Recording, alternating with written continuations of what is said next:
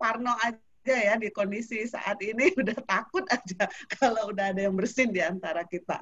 Tapi itu bagus, saya bilang bagus, kesadarannya sudah tinggi. Iya, saya uh, boleh uh, sapa lagi. Oh, Mas Albertus Andre dari Menulife Indonesia sudah masuk juga. Selamat datang. Ibu Delwina, PNS. Selamat datang, selamat bergabung dari OJK. Assalamualaikum. Waalaikumsalam. Ini Kamis Manis kita ketemu lagi di webinar ya Bu ya. Iya, Mudah-mudahan bermanfaat. Amin, amin. Pasti amin. bermanfaat Bu, insya Allah. Iya, karena eh, tadi saya cerita-cerita nih, kita sangat mengapresiasi yang pertama kepada perempuan-perempuan pengusaha Indonesia ya. Tapi enggak eh, saya juga apresiasi nih banyak ada juga loh peserta kita UMKM dari bapak-bapaknya. Bapak-bapaknya juga boleh ikutan, saling berkolaborasi kita nanti ya. Insya Allah. Iya, supaya roda bisnis kita tetap berputar ya eh, menghadapi corona ini di new normal atau di next normal. ada Pak RB. Kalau Pak RB, mohon maaf, ini saya nggak tahu RB ini kepanjangannya apa, tapi selamat datang. Dan Mas Ascaro Putro atau Bapak Ascaro. Dari fotonya sih milenial, saya panggil aja Mas ya, Ascaro Putro. Kemudian, iya, selamat sore, selamat Kamis Manis, sama kami yang manis-manis. Kita diskusikan hal yang manis-manis. Oke, uh, saya ingin menyapa lagi. Tadi Bu Mulyawati udah ya.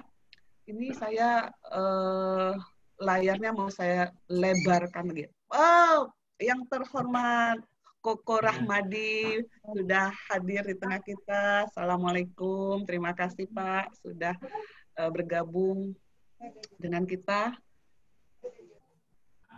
Waalaikumsalam warahmatullahi wabarakatuh. Ibu Paula Sembiring, apa kabar Bu? Baik, terima kasih ketemu lagi. Mudah-mudahan uh, diskusi kita sore ini nanti memberi apa ya Pak motivasi dan pencerahan.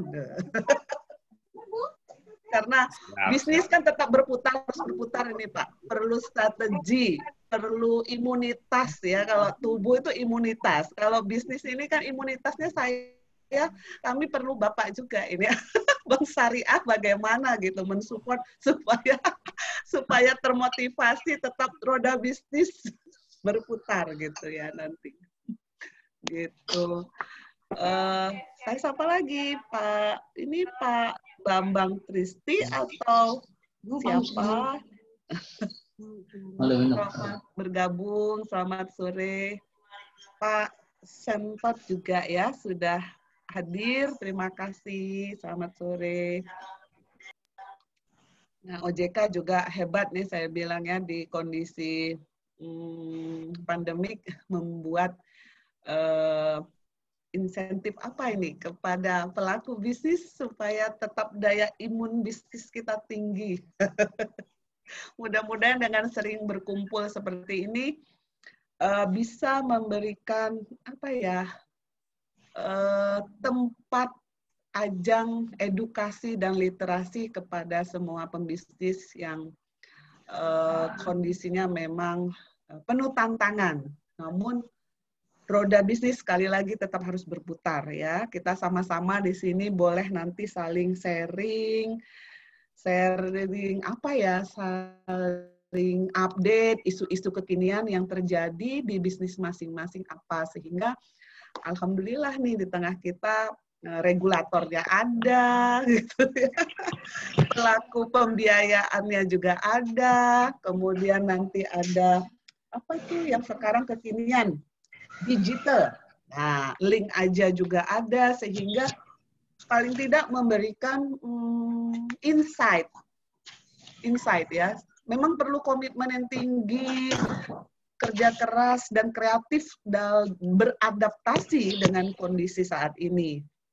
Karena itulah uh, sore ini uh, goodmoney.id membuat uh, suatu acara diskusi untuk memberikan insight, untuk memberikan semangat untuk memberikan suatu wadah untuk ngobrol kita sebagai pembisnis kita pertemukan dengan regulator dengan Aku lagi uh, meeting, Bu. pembiayaan pihak pembiayaan mudah-mudahan meningkatkan semangat tetap 45. berbisnis ya. Ya, roda bisnis tetap kita harus uh, jalankan Ini udah masuk, dua, udah, tiga. Eh, siapa lagi yang belum saya eh, sapa? Oh, alhamdulillah yang terhormat makanya. Pak Dino Milano juga sudah hadir. Selamat siang, Pak. Selamat bergabung. Terima kasih atas Wah. waktunya yang sudah on time. Ibu Santi, apa kabar? Selamat sore. Selamat siang Ibu. Ini selamat sore apa siang ya kita? Masih siang ya. Selamat siang. Ayo. Bapak Hidayat Zainuddin, terima kasih. Selamat bergabung. Mana Ibu, iya, Ibu Rahmawati. Enggak, Nah, Ibu Susi Herawati ini dari Sumatera nih teman saya. Seorang pejuang Sumatera. Selamat bergabung juga Ibu. Mbak atau Elvi. Rosita. Nah, ini pembisnis milenial nih. Dari fotonya sih milenial ini ya, Mbak Elvi saya panggil. Nah, Ibu Trisna, tadi sudah saya eh, salam Nah, ini atau ke sini. belum? Selamat Oh, bergabung Bu. Trisna. terus. Nah, sini teman saya juga kalau kema- eh, pembisnis UMKM ini pembisnis di bidang keuangan. Ibu Niken Damayanti ya sudah masuk Niken juga. Damayanti. Selamat bergabung. Ya. mana kan minta juga? Ibu Dikan Damayanti ini aku. Oke. Saya lihat lagi ya. Ibu, oh ada, ada Mas Henry Widakdo atau Henry Widakdo apa ini namanya? Mau saya panggil Mas Henry aja karena namanya keluarnya Henry ya. Selamat bergabung. Nanti eh, kita saling sharing eh, bagaimana eh, bisnis kita tetap berjalan di era pandemik menuju next new normal, new world, new normal. Yang normalnya yang mana sebenarnya?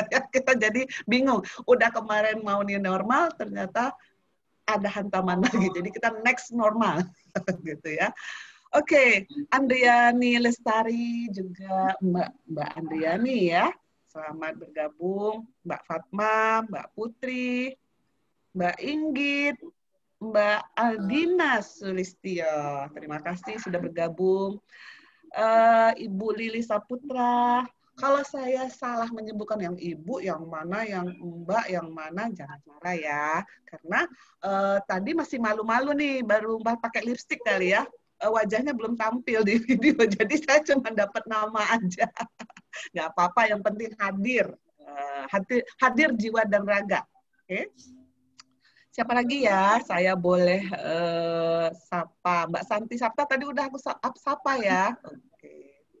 Eh si cantik Ibu Hidayati Zainuddin, masya Allah siang ini benar-benar Kamis manis Bu. Pakai masker kita ya. Takutnya secara virtual terjadi penyebaran pandemi. Cakep Bu, nanti foto kita bareng-bareng ya. Oke, Ibu Putri Alvarista, selamat bergabung. Mbak Cita atau Mbak Cita atau Ibu Cita?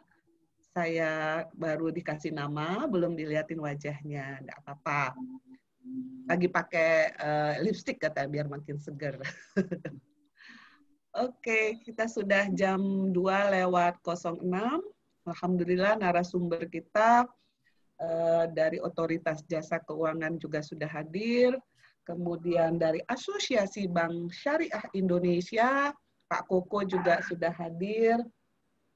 Eh, tentunya pimpinan redaksi kita eh, yang ibu yang baik hati yang selalu memperhatikan untuk membuat eh, acara-acara edukasi yaitu Ibu Dwi Setiati pimpinan redaksi Good Money .id juga sudah hadir bersama tim gitu ya.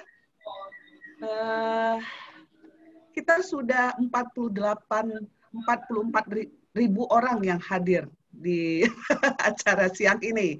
Bagaimana ini panitia? Apakah masih banyak yang antri? Kita persilahkan. Atau kita sudah bisa mulai acara kita?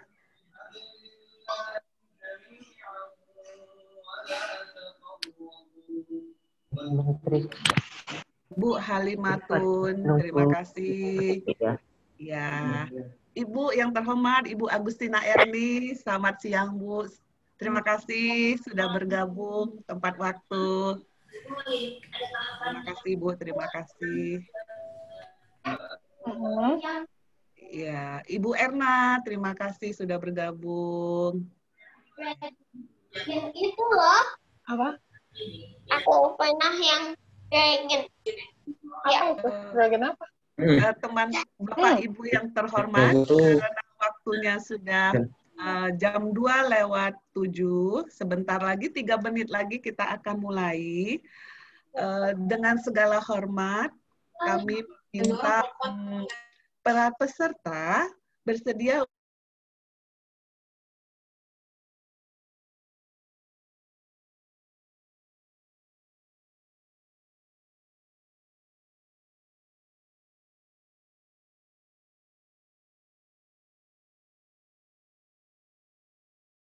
bawa mobil tapi tetap ikut acara.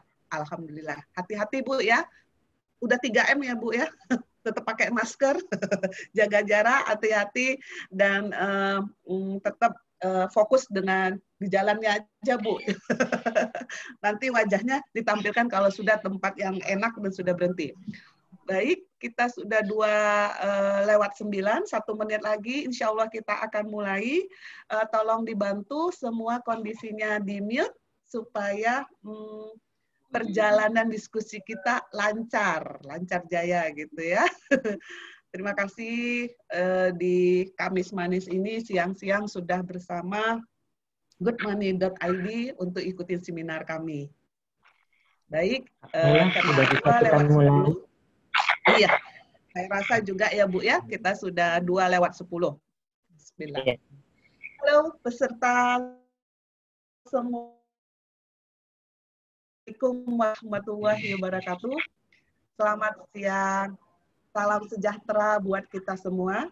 Para hadirin yang berbahagia, selamat datang di acara webinar goodmoney.id. Kali ini temanya spesial buat perempuan. Dorong perempuan tingkatkan produktivitas keuangan syariah di pandemi. Yang melatar belakangin apa ya ada acara hari ini? Seperti seperti data Bank Indonesia 2018 mengatakan bahwa hmm, usaha mikro, kecil dan menengah telah terbukti menjadi penggerak tumbuhnya ekonomi Indonesia. Kontribusi UMKM terhadap produk domestik bruto sebesar 60% pada tahun 2018. Dan yang paling membahagiakan para perempuan Indonesia adalah dari 57,83 juta pemain UKM, UMKM tersebut, 60 persennya dikelola oleh kaum perempuan. Wah, Luar biasa. Tanda tangannya Pak Berarti kalau 60 Aku udah persen, ke Pak Eko, aku udah ke Pak adalah Eko. 30 Ya, aku diteleponin terus sama Pak Kabul eh. Ada yang Eh, mau memo itu memo apa eh memo Tolong di-mute dulu. atau panitia bisa memute secara sentral boleh Heeh. ya. Ya, heeh, makasih ya. Terima Pak Eko ada kan? kasih.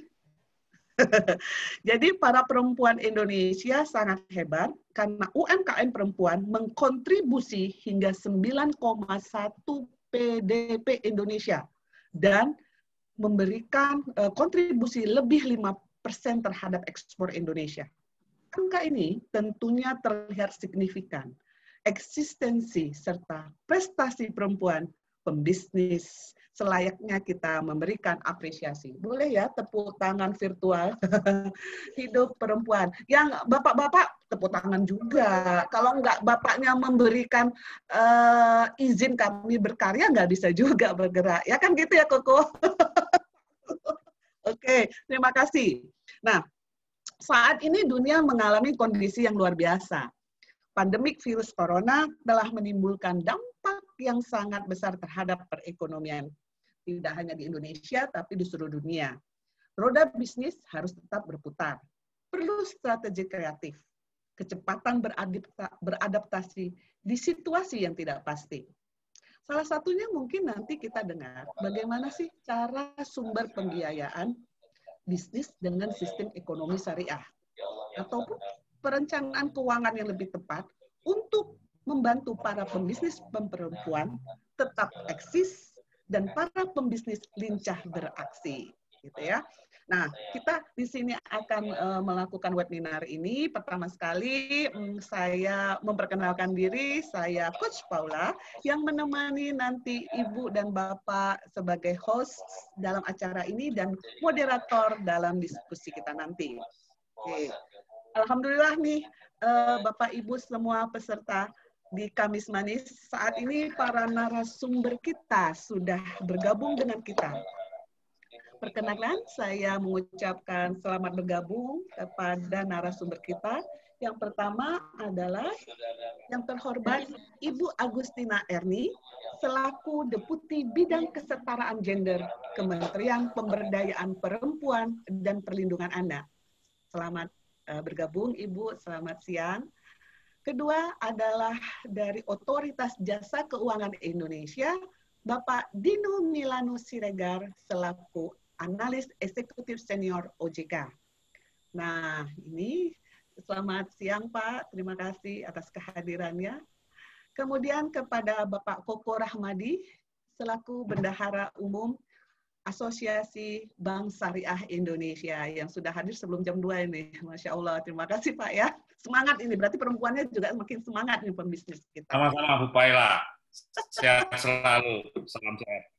Iya, terima kasih. Kemudian tentunya juga kepada narasumber berikutnya, kepada Ibu Novita J. Rumunganun, selaku Direktur dan Chief Marketing Officer Manulife Indonesia.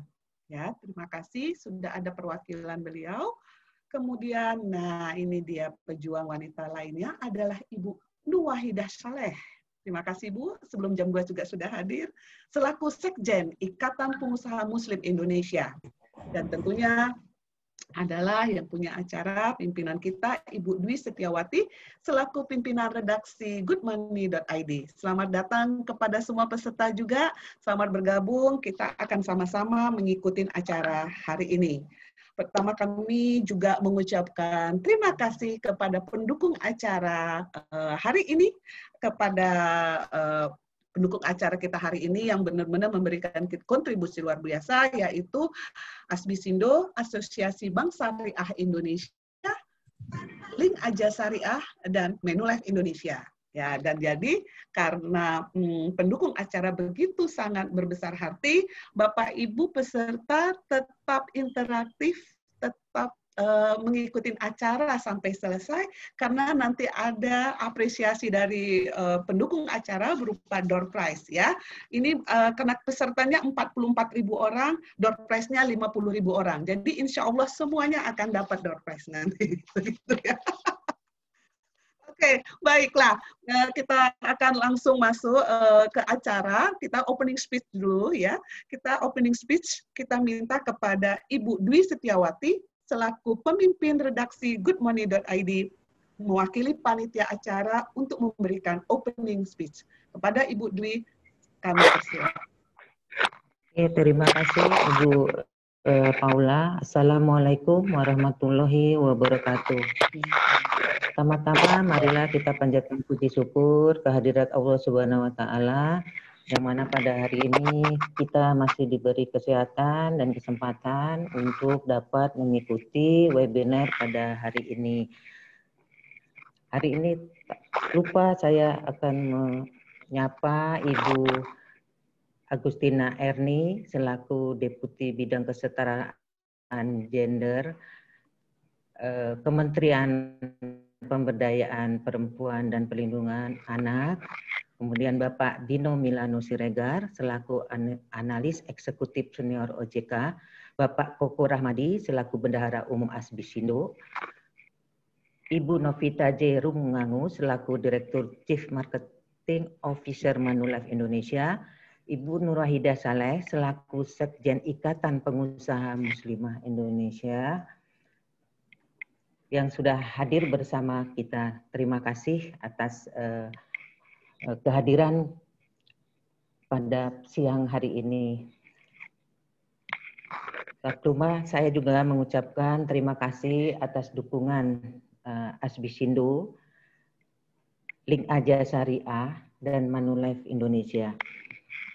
Perlu saya sampaikan bahwa tujuan daripada webinar ini lain adalah memberikan wadah sebagai uh, sarana diskusi yang berkaitan dengan bagaimana mendorong kaum perempuan dalam meningkatkan produktivitas keuangan syariah di tengah pandemi COVID-19. Ini lebih khususnya kita akan uh, berdiskusi tentang uh, masalah ini. Kemudian mencari alternatif dan solusi terbaik untuk membantu kaum perempuan dalam mendapatkan akses permodalan berbasis syariah guna meningkatkan usahanya. Di sini kita sudah uh, bergabung juga dengan Bapak dari Asbisindo, barangkali nanti sebagai uh, direktur juga di N, apa, OCBC NISP Syariah bisa menyampaikan. Kemudian uh, sharing session bagaimana menciptakan strategi bisnis yang tepat yang bisa dijalankan ketika masa pandemik ini. Nah, barangkali secara garis besar tujuan daripada webinar ini seperti berikut, seperti itu. Perlu saya sampaikan bahwa goodmoney.id uh, adalah media uh, online yang baru berdiri satu tahun. Nah, di sini kami mempunyai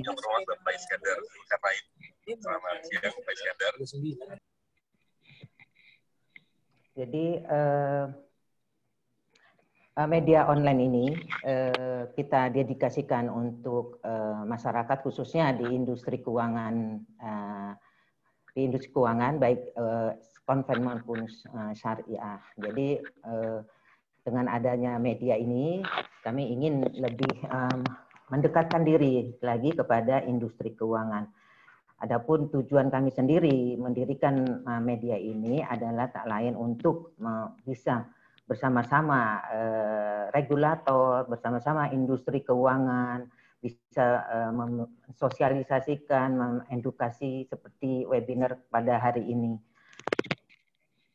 Tak banyak yang perlu kami sampaikan, hanya ada titipan agar para peserta bisa membuka uh, dan mengunjungi web kami goodmoney.id.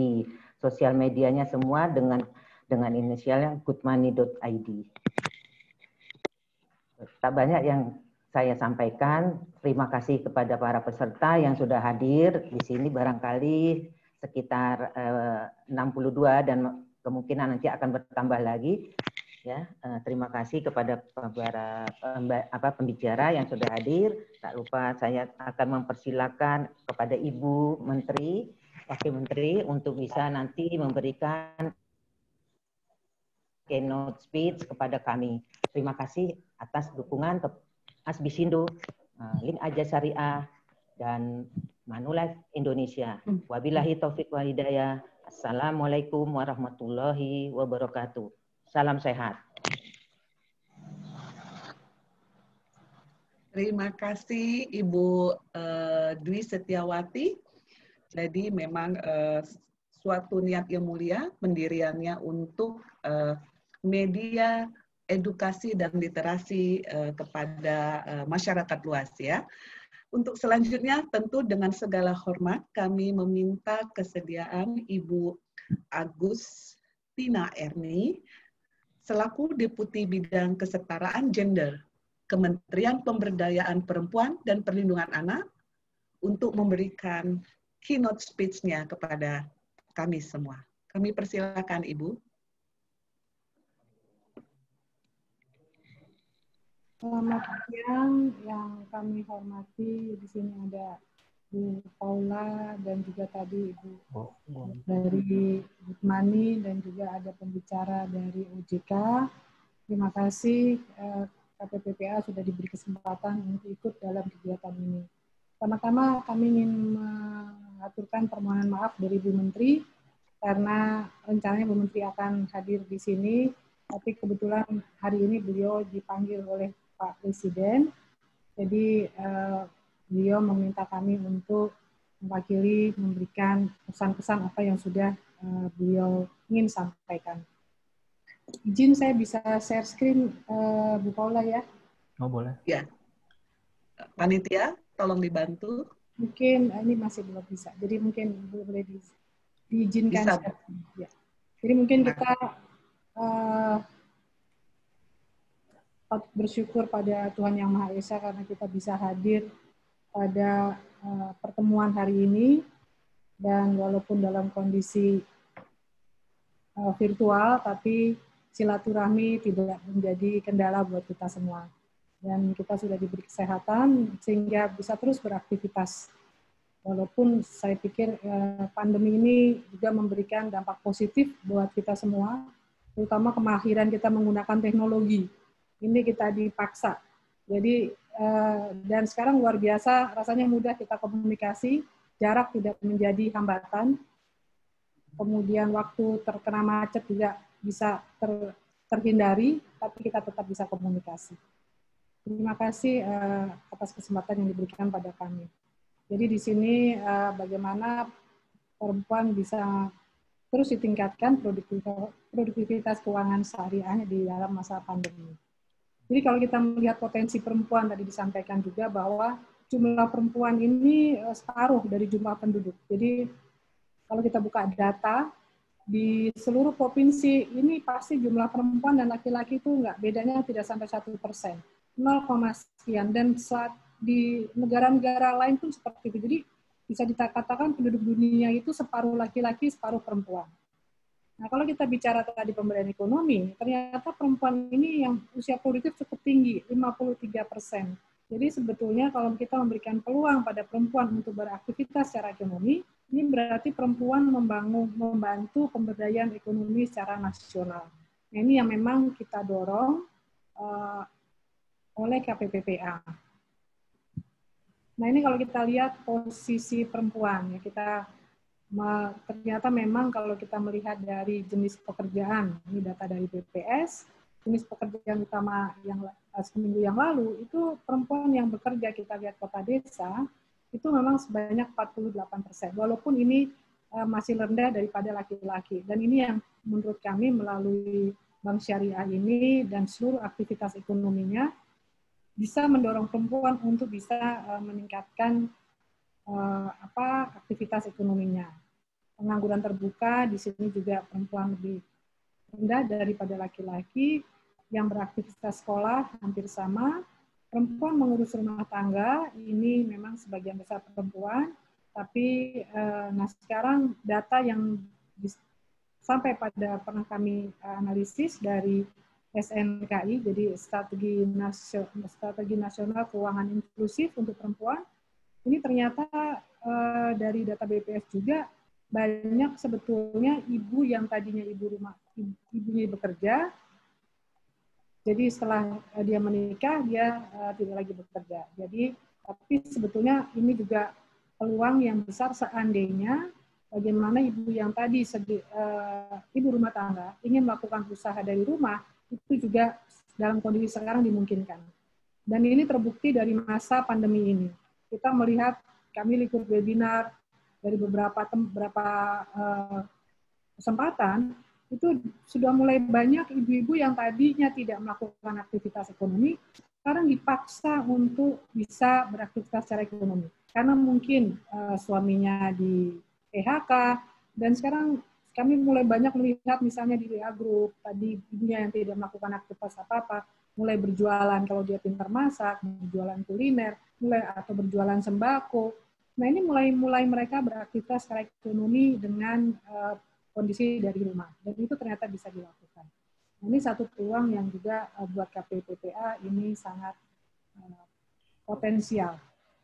Dan Bapak Ibu di RPJM kami, di RPJM 2024 ini, KPPPA oleh Pak Presiden itu sudah ditargetkan uh, indikator kinerjanya, yaitu meningkatkan indeks pembangunan gender, indeks pemberdayaan gender, dan tingkat partisipasi angkatan kerja perempuan.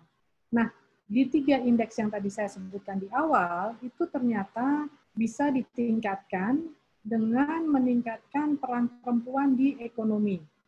Jadi di indeks pemberdayaan pembangunan gender, satu komponennya adalah uh, perempuan di ekonomi, kemandirian ekonomi. Dan di sini yang terlihat adalah masih adanya uh, apa kesenjangan upah atau penerimaan yang diterima oleh perempuan. Demikian juga dengan indeks pemberdayaan gender. Ternyata komponen yang ketiga adalah peran perempuan uh, di pendapatan. Dan di sini juga sebetulnya masih bisa ditingkatkan. Oleh karena itu dengan kegiatan ini saya pikir bisa mendorong bagaimana nanti kegiatan yang dilakukan oleh Bank Syariah dan juga uh, Bapak Ibu di forum ini bisa meningkatkan indeks IPG karena terkait dengan pemberdayaan ekonomi. Dan yang ketiga tadi tingkat partisipasi angkatan kerja sudah pasti ini akan meningkat. Jadi uh, ini indeks-indeks yang kami Dan di samping itu Pak Presiden juga memberikan arahan kepada Bu Menteri, ada lima isu prioritas Bu Menteri yang harus dilakukan selama empat tahun. Yang pertama adalah peningkatan wirausaha perempuan. Ini yang prioritas yang pertama. Dan di sini saya pikir sinergi yang uh, kerja yang nanti bisa dilakukan dengan Good Money ini pasti juga akan meningkatkan peran perempuan di wirausaha. Sedangkan prioritas yang lain terkait dengan pengasuhan, kekerasan, perkawinan anak, dan juga pekerjaan.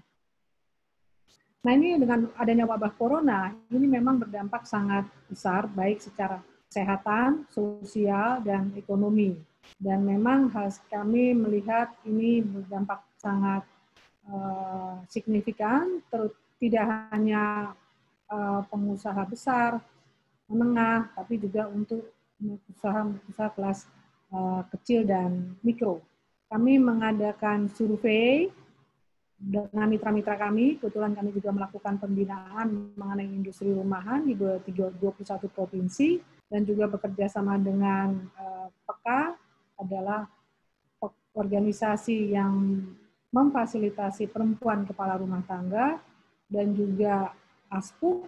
Ini ternyata survei yang kami dapatkan dampak COVID ini memberikan dampak yang luar biasa pada pelaku usaha mikro yaitu penjualannya menurun karena memang mereka lebih banyak uh, bergerak di olahan bahan olahan makan.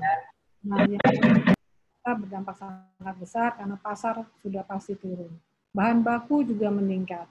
Kemudian uh, kesulitan pengiriman produk sentra ke penjualan nah, ini akses pasar juga menjadi terhambat. Kesulitan pembayaran cicilan atau kredit rutin dan juga tadi bahan baku menjadi susah diperoleh. Ini yang kami terima hasil surveinya. Nah ini tadi yang kami sampaikan, memang kita ingin meningkatkan pendapatan perempuan yang memang ini perempuan 9 juta per tahun, sementara laki-laki 15. Nah kemudian bagaimana kita bisa meningkatkan pendapatan perempuan tadi sehingga menaikkan indeks yang menjadi target uh, eh, IRPJM yang menjadi tanggung jawab KPPPA. Nah, tadi disampaikan juga oleh Bu Paula bagaimana peran perempuan di UMKM, bahwa dari total usaha mikro, eh, kecil, menengah itu 99 persen skalanya adalah skala KM dan sumbangannya 50 persen ke PDB dan 50 persen perempuan bermain di situ. Nah ini saya pikir memang sangat potensial untuk terus dikembangkan.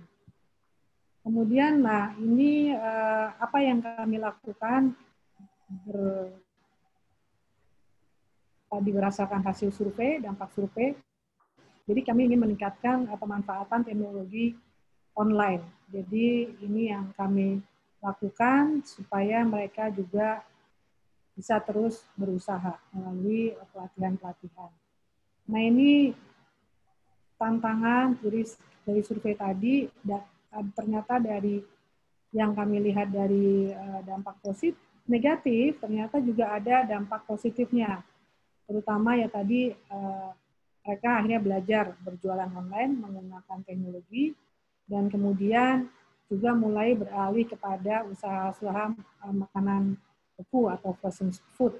Nah, ini pada beberapa usaha yang menjadi binaan kami dan juga mitra eh, Peka dan Aspuk itu mereka banyak yang beralih kepada usaha-usaha herbal. Nah, ini juga ternyata masa pandemi ini meningkat. Kemudian eh, banyak juga yang akhirnya beralih usaha menjadi usaha masker, hand sanitizer. Ini ternyata mereka bisa menangkap peluang peluang pasar yang meningkat pada masa pandemi.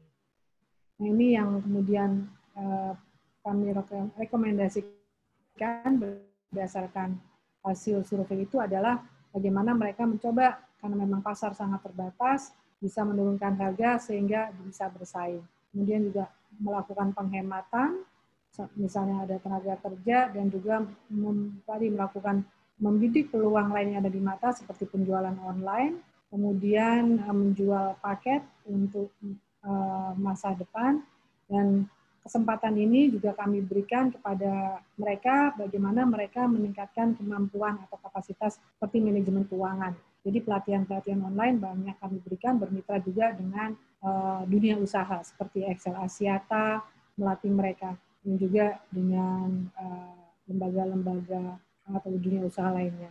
Kemudian bagaimana mereka akan melakukan didorong melakukan inovasi produk dan layanan pendukung, jangan dan juga mempelajari peluang mendapatkan mitra investor.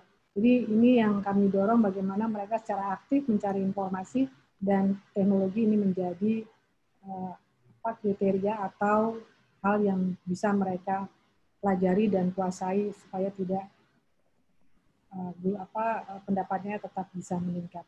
Mungkin itu Bu Paula yang bisa kami bagikan hasil kami melakukan survei dan juga upaya-upaya yang sudah kami lakukan. Terima kasih Bu Paula. Wassalamualaikum warahmatullahi wabarakatuh. Terima kasih Ibu uh, Agustina Erni dari data tadi sungguh sangat hmm, ada dua hal ya Bu. Pertama membanggakan ternyata perempuan ini memang diharapkan nanti dapat meningkatkan uh, perekonomian uh, Republik Indonesia. Uh, kedua, karena kondisi tantangannya ada era pandemik tadi, ternyata pemerintah juga sudah memberikan hmm, apa ya sudah memikirkan inisiatif-inisiatif yang sangat signifikan untuk mendukungnya. Baik, dan tepat sekali uh, materinya hari ini. Solusinya tadi Ibu bilang bahwa pemerintah uh, harus nih tips-tipsnya kita gimana berkolaborasi, inovasi produk dan layanan, peluang mendapatkan mitra investor. Nah, semua pihak di sini uh, yang akan menjadi narasumber memang siap untuk membantu kita semua. Mudah-mudahan dengan berkolaborasi, bekerja sama regulator dan para pelaku, dan sering kita melakukan webinar seperti ini, literasi dan edukasi akan sampai ke masyarakat luas. Terima kasih Ibu uh, atas uh, apri, uh, informasi dan pencerahan kepada kami semuanya. Baiklah, uh, Bapak Ibu hadirin sekalian, kita akan memasuki uh, acara webinar kita secara langsung karena narasumber kita semua sudah hadir di sini.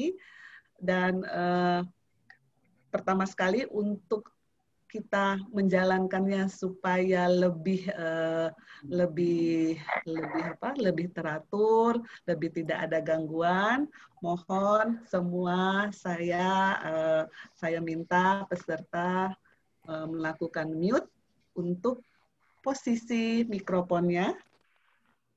Kemudian karena kita juga secara langsung ada Paula, maaf ya, Bu Paula, hostnya bisa dikembalikan ke Good Money. Oh iya, hostnya, hostnya saya uh, mungkin di panitia ya Bu, bukan saya ya. Di panitia. Agustina. Dari Ibu Agustina. Dari Bu Agustina. Oke, saya lihat dulu. Bu Agustina. Uh, Oke. Okay. Enggak, bukan dia. Di siapa ya? Uh, panitia yang lain ada yang bantu karena bukan dari saya ini, Bu. Ya, ini uh, kenapa saya dijak? Oh, tadi hostnya mestinya bisa ditambah ya. Jangan ini hostnya sekarang saya. Iya, yeah, maaf Bu. Enggak apa-apa, Bu. Berarti Ibu harus hadir terus. ini uh, iya saya saya dijadikan host ini jadinya. Mungkin tadi saya dijadikan host bersama dengan yang lain. Oh, ini uh, saya coba saya masuk nggak? Bu, Bu, uh, ya. bikin host caranya more. Oke, okay. ini saya biasanya juga sama teman-teman. Oke, okay, di more ya. Make to host, good money. Di partisipan, more. Ya ininya terus make to host ini kok adanya malah saya rename bukan di rename ya Ibu klik partisipan dulu, partisipan. Iya, sudah sudah terdaftar partisipan ada nama saya. Ibu cari yang Good Money ID. Oke. Ada ada more. Nah, itu Oh, host. screen. Itu host. Ini. Makanya tadi saya pikir kenapa saya jadi sebentar-sebentar. Bentar ya. Oh, Ya, ini saya cancel dulu. belum. Belum. Saya harus belajar sama ibu nih, malah saya belum ngerti. Iya, tapi di sini more kenapa ada cuma cuma rename ya? Hmm, Kalau saya pencet more di sini yang keluar rename seperti merename ini saya jadinya. Di partisipan dulu, Ibu ke partisipan ke Good Money. Good Oh ke Money. good money, oke oke oke. Oh iya iya iya. Itu yang titik tiga, Ya good money. host. Kemudian make host, oke ya. Oke, silakan. Terima Saya- kasih Bu. Ya, mestinya tadi di add aja hostnya. Oke, terima kasih banyak ya. Saya izin pamit karena ada rapat yang lain. Terima kasih, selamat berdiskusi. Ibu, terima kasih banget. Terima kasih. Really Kerja appreciate bareng, kerja siap bareng. Ya, kita ntar kita diskusi lagi. Diskusi ya Bu. Terima kasih. Baik, eh, para hadirin, Bapak Ibu, kita lanjutkan. Kita akan memasukin eh, diskusi webinar kita. Untuk pertama tadi terima kasih teman-teman semua sudah mengkondisikan mute mikrofonnya. Kemudian eh, para peserta kami harapkan untuk mengklik video goodmoney.id yang terletak di pojok kanan atas akun ya. Silahkan ada akun goodmoney.id ID. Kemudian dalam kita melakukan nanti eh, presentasi dari narasumber, pertanyaan itu kita lakukan di akhir sesi. Jadi Bapak Ibu jika memiliki pertanyaan eh, sewaktu nanti ada narasumber sedang presentasi, silahkan tulis di chat aja, ya, tuliskan di chat. Eh, kemudian eh, bisa dituliskan kalau nanti ada slide-nya eh, bisa disebutkan di slide keberapa. Kalau tidak juga tidak apa-apa gitu ya. Kemudian nanti kita ada sesi tanya jawabnya setelah semua narasumber melakukan presentasi. Ya, narasumber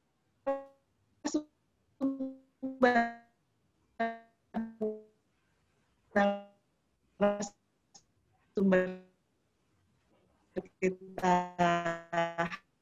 hari ini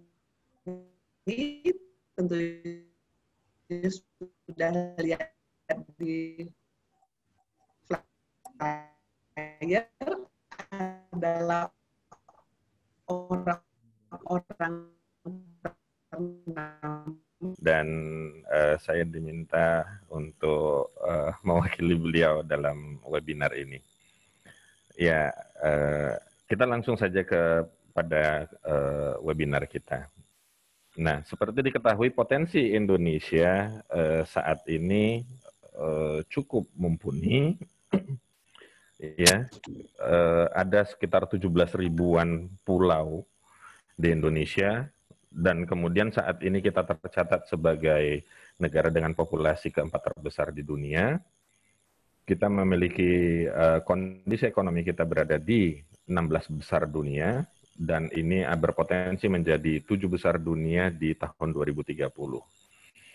Kemudian uh, ada 175 juta pengguna uh, internet yang saat ini uh, karena pandemi COVID yang sebelumnya adalah 150 juta jadi ada pertumbuhan 25 juta user uh, selama pandemi COVID ini. Dan kemudian untuk uh, pembiayaan itu ada gap sebesar 165 miliar dolar berdasarkan penelitian dari World Bank dan International Finance Corporation (IFC) yang uh, yang bersentuhan itu baru sekitar 57 miliar dolar. Jadi ada 165 miliar dolar yang belum tersentuh. Ini juga menjadi apa namanya peluang buat kita untuk pengembangan pembiayaan lebih lanjut. Dan kemudian dari pembiayaan yang sudah ada terkait dengan UMKM itu masih 74% belum tersentuh pembiayaan dari perbankan saat ini gitu. Nah, berdasarkan uh, penelitian dari McKinsey, itu ada 26% saja yang tersentuh oleh stimulus ekonomi yang dilakukan oleh pemerintah terkait dengan pemulihan ekonomi nasional. Oke, okay, next. Dan nah, uh, kalau kita melihat kondisi pandemi saat ini, COVID ini memberikan tantangan dan kemudian melakukan perubahan-perubahan terhadap uh, kondisi kehidupan kita. Uh, kita melihat bahwasanya bahwasanya terjadi perubahan kebiasaan dari uh, kita semua yang tadinya kita bisa bertemu langsung, melakukan jual beli secara langsung, tatap muka, tapi sekarang ini kita harus menjalankan physical dan social distancing, kemudian banyak yang bekerja secara jarak jauh, belajar jarak jauh, dan kemudian didorong untuk melakukan kegiatan secara daring yang kemudian uh, mendorong penggunaan smartphone atau gadget yang lebih banyak dan kegiatan-kegiatan itu banyak dilakukan secara digital. Yang tadinya kegiatan perbankan banyak dilakukan secara fisik, akhirnya sekarang menggunakan internet banking, uh, phone banking, dan lain-lainnya. Nah, kemudian penggunaan dari uh, internet ini ini juga memunculkan banyak model bisnis baru gitu. Semua semuanya itu ada di smartphone-nya kita. Nah, jadi berbagai transaksi itu dilakukan uh, dari uh, mobile phone kita.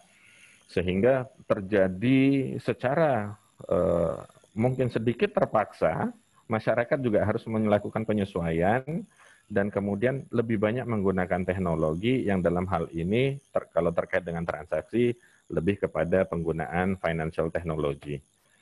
Oke. Okay. Next.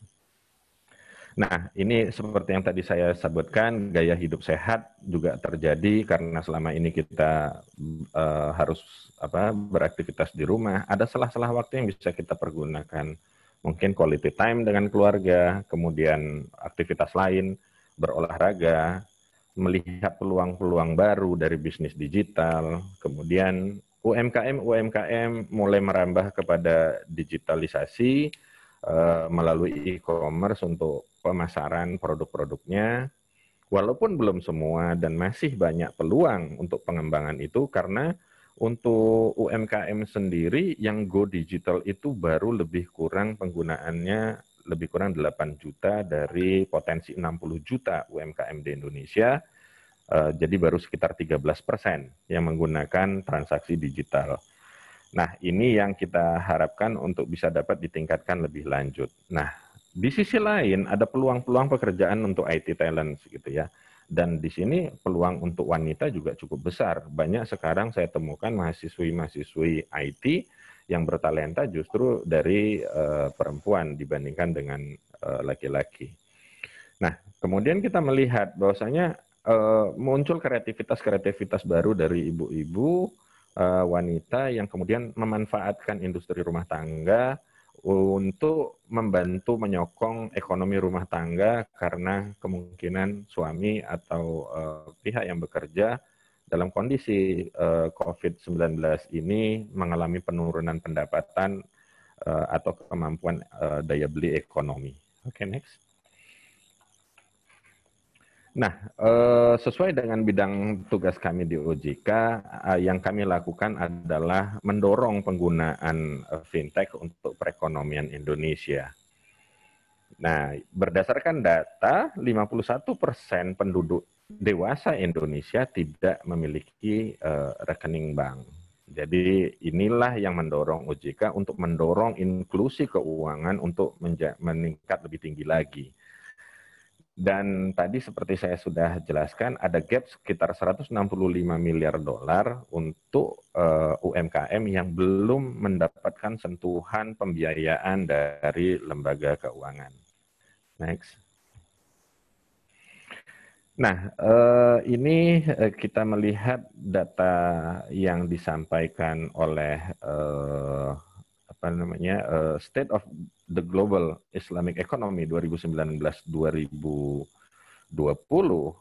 yang menunjukkan bahwa ada lima sektor usaha syariah terbesar di dunia yang uh, menjadi uh, apa namanya primadona saat ini, yaitu industri makanan, busana muslim, media dan rekreasi, wisata ramah muslim, dan farmasi halal. Nah, untuk masing-masing kategori, Indonesia itu untuk produk makanan, Indonesia itu berada di peringkat satu dunia dengan uh, total uh, pendapatan lebih kurang 173 miliar dolar. Kemudian peringkat tiga untuk uh, busana muslim uh, dengan pengeluaran yang disampaikan dunia itu sebesar 21 miliar dolar. Dan media rekreasi itu 10 uh, miliar dolar. Wisata ramah muslim itu lebih kurang 11 miliar dolar dan berada di peringkat kelima. Kemudian untuk farmasi halal kita masih sangat relatif kecil ya, 5 miliar dolar uh, dengan peringkat keempat di uh, dunia. Ini adalah sektor-sektor yang mungkin bisa dibidik oleh uh, perusahaan-perusahaan yang bergerak di bidang apa uh, dengan keuangan syariah yang memang mungkin bisa memberikan kontribusi lebih terhadap perekonomian Indonesia makanan, busana muslim, media dan rekreasi, wisata ramah muslim, serta farmasi halal. Oke, okay, next. Nah, terkait dengan itu, eh, OJK juga melihat bahwasanya ada hal yang perlu didorong untuk meningkatkan kemampuan eh, ekonomi dan keuangan syariah ada lima kebijakan strategis OJK terkait dengan pertumbuhan ekonomi yang berkualitas. Uh, kalau kita melihat di sini, OJK dari lima kebijakan strategisnya itu salah satunya, yaitu nomor lima, itu OJK melakukan uh, apa, uh, kegiatan atau pengembangan kepada ekosistem ekonomi dan keuangan syariah. Oke, okay, next. Nah, kalau kita dilihat di sini, uh, ini terlepas tadi dari ekonomi syariahnya, di dunia kita melihat bahwasanya peran wanita, ya berdasarkan studi yang dilakukan di berbagai belahan dunia, jadi wanita itu unggul selama masa uh, pandemi virus corona ini. Seperti kita lihat, uh, contohnya kalau di Taiwan itu krisis itu lebih banyak dikelola oleh wanita. Gitu. Kenapa? Karena memiliki ketahanan, pragmatisme, eh, memiliki sifat kebajikan, kemudian kepercayaan pada akal sehat, kemudian bisa saling membantu sebagai ciri umum dari para pemimpin wanita.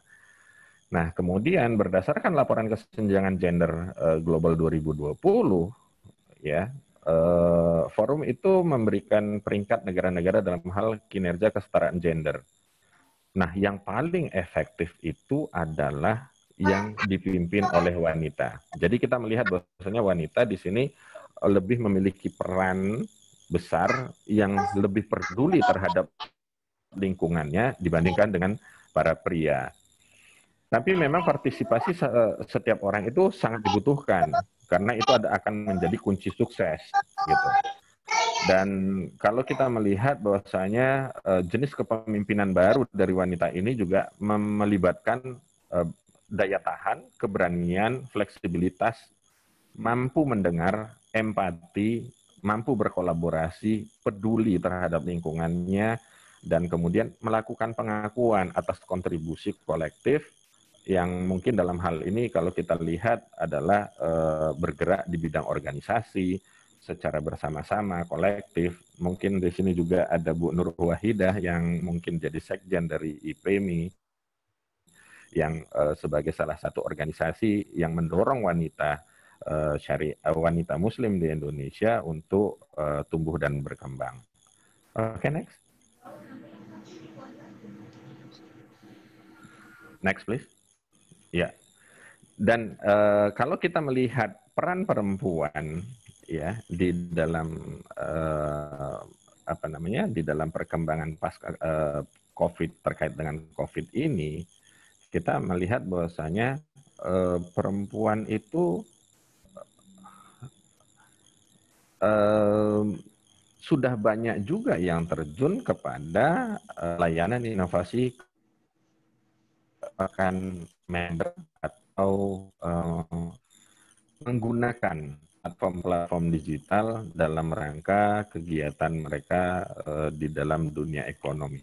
Misalnya melakukan penjualan di marketplace yang menggunakan fintech. Mungkin eh, kalau meng- eh,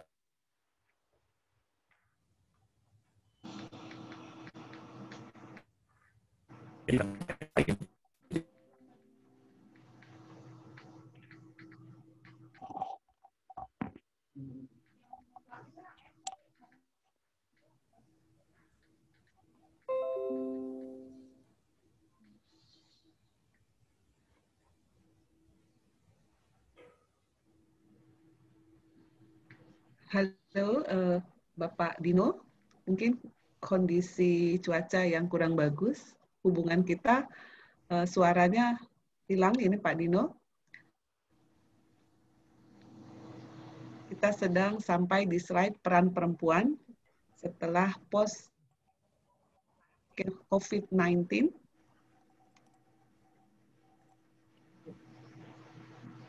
Kalau dilihat dari datanya, ini menggembirakan bagi perempuan-perempuan Indonesia ya. Bener banget, multitasking. Suka detail. ya mohon maaf agak terputus tadi. Iya, nggak apa-apa Pak. Cuaca memang lagi kurang Halo? mendukung untuk di eh, kondisi virtual ini seperti itu sudah biasa. Silakan Pak. Halo? Ya silakan Pak. Kita sudah mendengar Bapak. Oh iya, Eh, saya belum melihat screen tayangannya.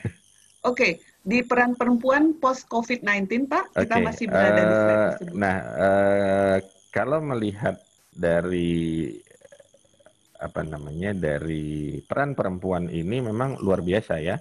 43% UMKM formal di Indonesia dimiliki oleh wanita, gitu. 66,7 persen pendanaan fintech itu diajukan oleh wanita, dan kemudian perempuan memiliki UMKM itu eh, 52,9 persen untuk levelnya mikro, untuk kecil itu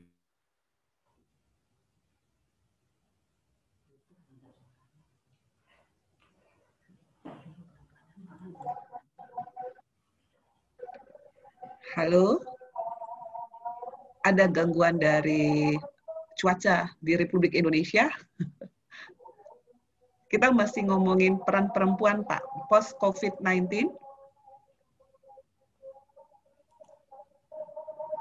Di sini eh, di slide disampaikan bahwa eh, UMKM didominasi oleh perempuan 43 persen, eh 52,9 persen ya.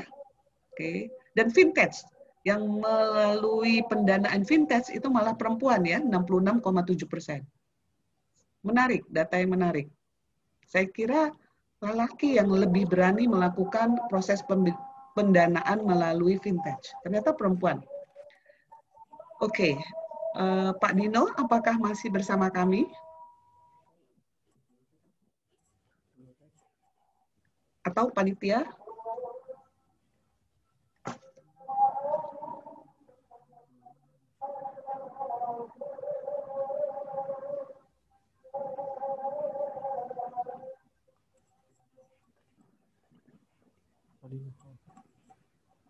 Mungkin kita tunggu ke datangan Pak Dino lagi. Oh, udah datang itu Pak Dino.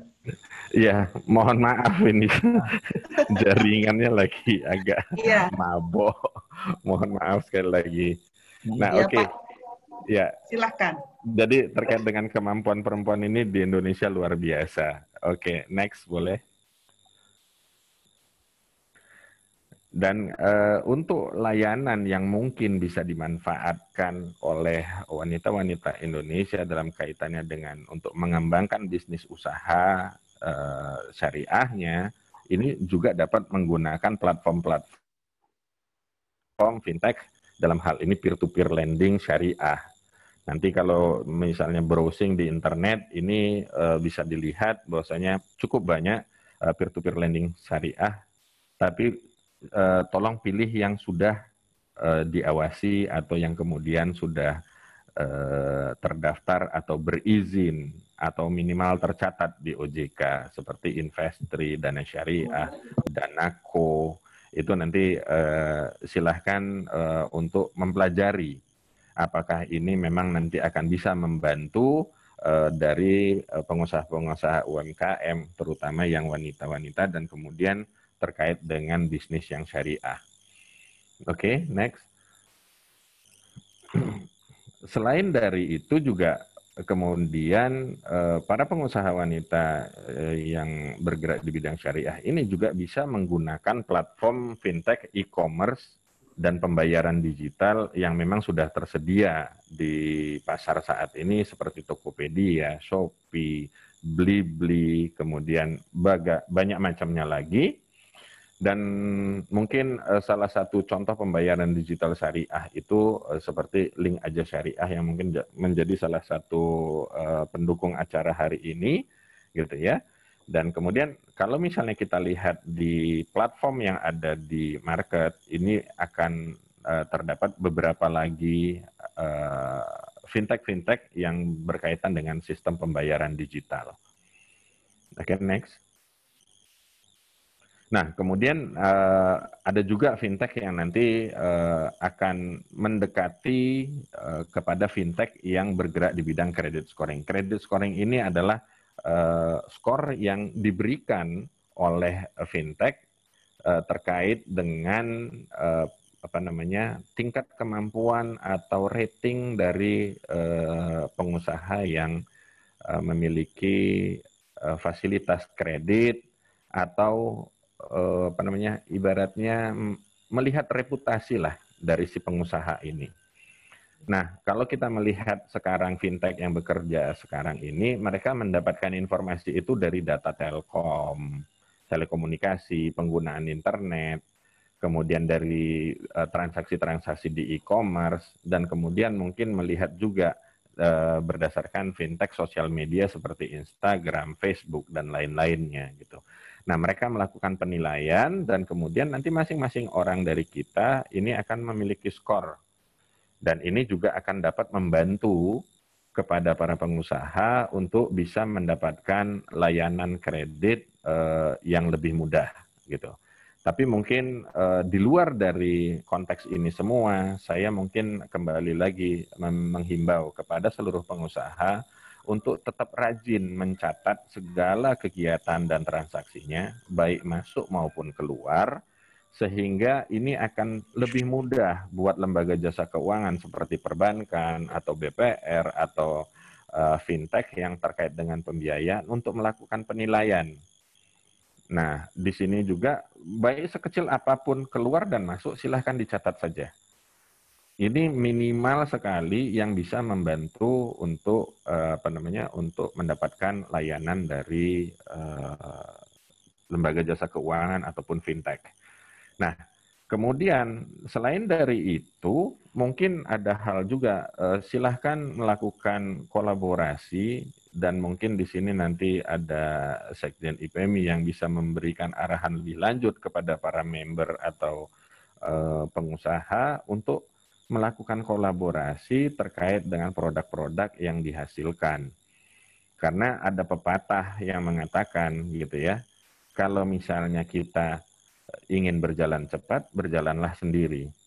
Kalau ingin berjalan jauh, berjalanlah bersama-sama. Jadi eh, apa namanya? pemahaman bahwasanya kita berkolaborasi itu pasti akan memberikan kalau misalnya dari sisi ekonomi dengan kita berkolaborasi, maka ongkos ekonominya akan lebih murah sehingga daya jual apa harga yang disampaikan itu berada di dalam jangkauan masyarakat sehingga daya beli dari masyarakat itu bisa memberikan keuntungan yang memadai kepada para pelaku usaha. Nah, jadi ini memang eh, jadi rantai yang satu dengan yang lainnya tidak akan mungkin bisa diputuskan. Nah, itulah eh, apa materi yang kami sampaikan hari ini peran wanita di dalam perkembangan eh, ekonomi di Indonesia khususnya syariah kalau saya melihat punya potensi sangat besar untuk bisa dikembangkan. Eh, kalau terkait dengan layanan jasa keuangan, silahkan menggunakan platform-platform perbankan atau lembaga pembiayaan atau fintech yang memang sudah memiliki izin atau terdaftar di OJK. Jangan salah sampai uh, melakukan kerjasama dengan uh, lembaga fintech atau pinjaman online yang ilegal, nanti akan terjadi ke apa kerugian dari pengusaha itu sendiri. Jadi tolong untuk cukup jeli memilih di mana lembaga jasa keuangan yang akan diajak untuk bekerja sama. Dan kemudian eh, dorongan tadi dari para organisasi untuk mendorong, untuk mengembangkan lebih lanjut para pengusaha ini juga dibutuhkan. Kemudian mohon untuk tetap memperhatikan pertumbuhan data. Jadi eh, analisislah data yang bisa memberikan peluang. Seperti tadi saya memberikan contoh di sini, ada lima peluang yang kemudian itu menjadi market besar di dunia yang bisa dibidik oleh pengusaha-pengusaha terutama wanita-wanita uh, uh, apa yang bergerak di bidang syariah nanti akan bisa melihat itu ada lima uh, potensi. Kalau ingin mendapatkan informasi lebih detail, silahkan mencari materinya di uh, website karena memang itu uh, disediakan gitu ya. Jadi ada ekonomi Islam global yang laporannya tahun 2019 2020. Nah, kalau konteksnya itu memacu revolusi ekonomi Islam 4.0. Jadi eh, ekonomi Islam kejar-kejaran dengan perkembangan teknologi, kira-kira seperti itu. Nah, jadi memang kita tidak bisa meninggalkan dunia teknologi, dan kondisi COVID ini memberikan kesadaran kepada kita semua bahwasanya memang teknologi tetap harus kita gandeng untuk mencapai kemajuan uh, ekonomi baik konvensional maupun syariah dan uh, saya rasa itu adalah hal-hal yang memang harus kita lakukan lagi untuk menuju apa untuk menuju uh, perekonomian Indonesia yang lebih baik. Saya rasa itu uh, presentasi saya hari ini. Terima kasih atas perhatiannya. Bila taufiq wal hidayah. Assalamualaikum warahmatullahi wabarakatuh. Waalaikumsalam warahmatullahi wabarakatuh. Terima kasih Pak Dino. Uh, luar biasa uh, Bapak Ibu para peserta webinar. Tadi kita mendapatkan pencerahan, ya, dapat informasi bagus bahwa ada peluang bisnis kalau kita mau di sentra ek, uh, ekonomi syariah tadi ada lima yang utama ya makanan, busana muslim, media dan relaksasi, wisata rahmah muslim dan farmasi. Jadi uh, itu lima hal yang bisa kita sama-sama uh, makin penetrasinya lebih besar lagi dieksplor di di masa-masa kini dan akan datang. Dan tadi kita harus siap berkolaborasi serta dengan berteknologi. Mengenai pembiayaan yang tadi luar biasa besar, nanti kita dengar dari Koko Rahmadi bagaimana sebenarnya pembiayaan ini kalau kita mau masuk di lima uh, opportunity tadi peluang bisnis di ekonomi syariah. Oke, selanjutnya kita silahkan Bapak Koko Rahmadi sebagai Bendahara Umum Asosiasi Bank Syariah Indonesia untuk sharing uh, informasi di sore hari ini. Silakan Pak Koko. Terima kasih uh, Ibu Paula Sembiring atas waktunya, kesempatannya di sore yang cukup cerah ini. Kalau di daerah saya, saya kebetulan di Cibubur ini, Pak Dino, cukup cerah ya. Semoga Jakarta tidak hujan. uh, Pertama-tama, uh, saya ucapkan terima kasih kepada uh, Bu Mane uh, dan Bu Paula yang saya hormati. Tadi Bu Agustina Erli sudah meninggalkan room ya. Mungkin ada teman-teman dari Kementerian Pemberdayaan Perempuan dan Anak. Selamat sore. Yang saya hormati Bapak Dino Milano uh, sebagai analis senior eksekutif uh, di Otoritas Jasa Keuangan. Yang saya hormatin uh, kolega saya Ibu Novita dari Manulife Indonesia, yang saya hormati dan saya banggakan Ibu Nurul Wahida Saleh selaku Sekjen IPMI dan tentunya yang saya hormatin Bapak ya Ibu Dwi Setiawati, mohon maaf Bu, ya mohon maaf ya. Biasanya kalau Ibu Dewi Bu, kalau Dwi biasanya ya, Ibu Dwi Setiawati, pimpinan redaksi Good Money. Selamat sore. Assalamualaikum warahmatullahi wabarakatuh. Alhamdulillahirabbil alamin wassalatu wassalam asrofil anbiyatil mursalin asyhadu alla ilaha illallah wa asyhadu anna muhammadar abduhu wa rasuluh. Allahumma shalli ala wa ala ali wa ashabi ajmain amma ba'duhu. Teman-teman semua yang saya hormati eh, Bapak maupun Ibu di acara eh, webinar kali ini. Perkenalkan nama saya Koko Koko Rahmadi. Eh, saat ini saya sebagai bankers aktif di OCBC NSP Syariah Kemudian saya juga dipercaya menjadi bendara umum untuk Asosiasi Perbankan Syariah Indonesia. Uh, bisa next teman-teman slide-nya. Ditampilin. Nah. Apakah sudah tampil? Ini saya pakai laptop saya sudah tampil. Uh, mohon di share di ini. Oke. Okay.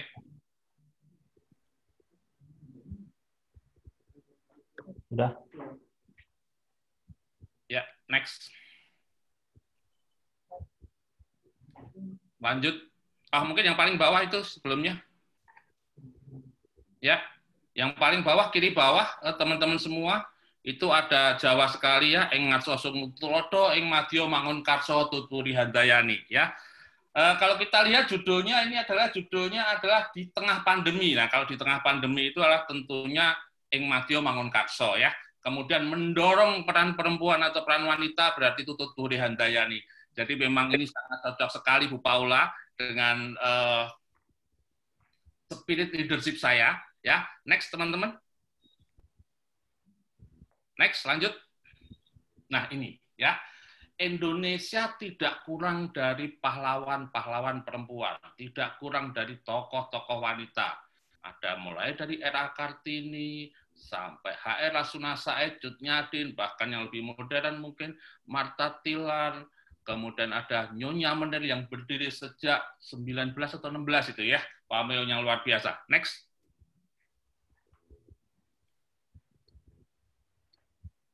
Nah, ini teman-teman ya.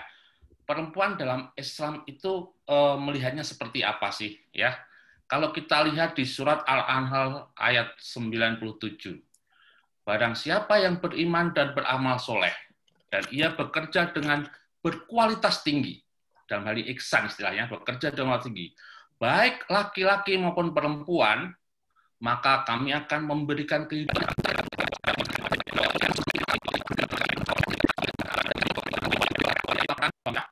Nanti mungkin uh, keuangan syariah dan asuransinya uh, dibantu oleh rekan saya kemudian ada layanan digital banking digital services ya. Nah karena itu ya UMKM perlu merubah jenis cara pelayanan maupun model bisnisnya untuk produk-produk potensial di masa yang mendatang. Produk-produk potensial masa mendatang seperti apa sih? Tadi sudah disinggung oleh uh, rekan saya dari OJK, Bapak Dino Milano, ya ada lima pilar tadi yang benar-benar berpotensi besar di masa depan. Tetapi UMKM harus merubah cara pelayanannya maupun bisnis modelnya disesuaikan ya dengan kekinian industri 4.0 ya. Hasil survei UMKM di Indonesia terdapat sekitar 237 eh, dari eh, responden dari 237 responden bahwa selama COVID-19 ini ya ini Juli 2020 teman-teman ya, para pelaku usaha yang masih bertahan dan bahkan menang, mengalami peningkatan omset adalah mereka yang menggunakan metode usaha online. Ya, ini harus digarisbawahin ya. Selama masa pandemi ini masih ada kok. Walaupun tadi di presentasi sebelumnya tadi ada yang turun semua, ada yang minus gitu ya. Tetapi tetap ada yang mengalami peningkatan omset. Siapa itu? Mereka-mereka yang berubah metode bisnis dia. Merubah cara pelayanannya dengan metode usaha online. Next.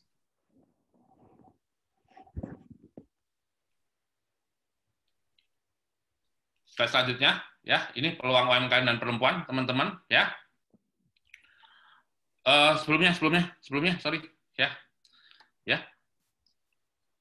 Perempuan itu berperan pada alokasi anggaran untuk kebutuhan keluarga. Ini harus diperhatikan ya. Kemudian ini strategi-strateginya masih lanjut dari slide sebelumnya tadi ya teman-teman ya. Memanfaatkan media sosial dalam gotong royong menggalang dana sosial untuk masyarakat yang membutuhkan tadi relaksasi. Coba baca. Suatu hari suatu hari pulang dari sekolah ya membawa amplop berisi surat. Jadi dia dapat surat dari sekolah. Kemudian surat itu dikasihkan ke ibunya. Kebetulan uh, di rumah cuma ada ibunya ya. Jadi ayahnya udah gak ada si Thomas ini dikasih ke ibunya. Bu, ini saya dapat surat dari sekolah. Katanya harus ibu yang baca. Saya nggak boleh baca dan yang buka harus ibu. Oke. Ibunya Thomas membuka surat tersebut, kemudian membaca dengan wajah yang memerah, wajah bersedih dan menangis. Air matanya keluar ketika membaca surat itu. Ya. Kemudian Thomas tanya, apa sih ibu isinya? Ibunya tadi bilang seperti ini. Ini surat dari sekolahmu isinya. Anakmu ini jenius sekali. Sekolah ini terlalu kecil untuk mengajari anakmu. Sekolah ini tidak sanggup mengajari anakmu. Sudah, anakmu kamu ajari sendiri saja, katanya. Oke. Tuh, isi suratnya itu. Kata ibunya ya. Oke, kita berlanjut. Sekian tahun kemudian, eh, ibunya Thomas udah meninggal dunia. Kemudian eh, Thomas mau udah menjadi penemu besar gitu ya, udah udah udah jadi orang top lah si Thomas ini lah ya. Kemudian dia beres-beres rumah, eh dia nemu. Surat itu dia nemu, surat sekian tahun itu dia temu. Kemudian dia baca, dia buka dia penasaran, ya apa sih? Oh di surat dulu yang dikasih supaya bacain emak gua gitu kan? Dia baca, isinya ternyata suratnya ini rada kasar ya, jadi anakmu ini bodoh sekali ya keterbelakangan mental. Jadi bodoh bodohnya pakai bahasa Inggris itu ya ini kejadian kejadian nyata di luar negeri ya. Bukan bukan stupid tapi keterbelakangan mental ya. Anakmu ini bodoh sekali keterbelakangan mental. Sudah pokoknya jangan datang ke sekolah lagi. Ternyata suratnya seperti itu tulisannya. Apa yang terjadi? Si Thomas ini ternyata ini tulisan aslinya Thomas Alva Edison menangis dua jam setelah membaca surat tersebut. Setelah dia uh, selesai dengan tangisnya yang dua jam, dia nangis dua jam itu pas Alva Edison, dia menulis di buku hariannya. Thomas Alva Edison itu dulu adalah anak yang bodoh sekali.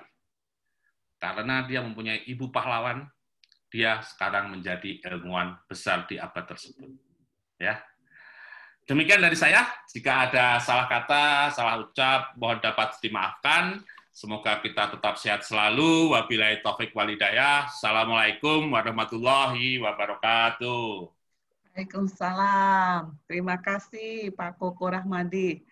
Ada uh, kalau saya melihat dan mendengar tadi ada berita gembira adalah ada stimulus kredit nih Pak ya untuk pemulihan ekonomi nasional sebesar 34,15 triliun. Nah, tuh Ayo para pembisnis wanita, mari kita buktikan kita bisa mengelolanya. Dan tadi juga untuk mendorong ke dunia digital, tadi ada program kemitraan kolaborasi, fintech, lembaga zakat, dan bank syariah. Menarik, nanti tinggal kita tanyakan bagaimana kita bisa membuat itu menjadi peluang yang bisa kita uh, masuk ke sektor realnya langsung dari lima potensi tadi yang disampaikan Pak Dino dari OJK, gitu ya Pak ya. Oke, okay. Kemudian kita akan langsung, terima kasih Pak Koko Ramadi, langsung kita akan ke narasumber berikutnya ber, e, bersama Ibu Novita Jerum Ngamun dari Life Indonesia selaku Direktur dan Chief Marketing Officer. Kepada Ibu Nona, e, kami persilakan untuk presentasinya. Silakan Ibu. Terima kasih uh, Mbak Paula. Uh, Salam Ibu Dwi, uh, Bapak Dino, Bapak Koko, Ibu Nur Waida, serta Bapak Ibu sekalian. Uh, Assalamualaikum warahmatullahi wabarakatuh. Uh, mungkin uh, saya bisa dibantu dengan slide-nya.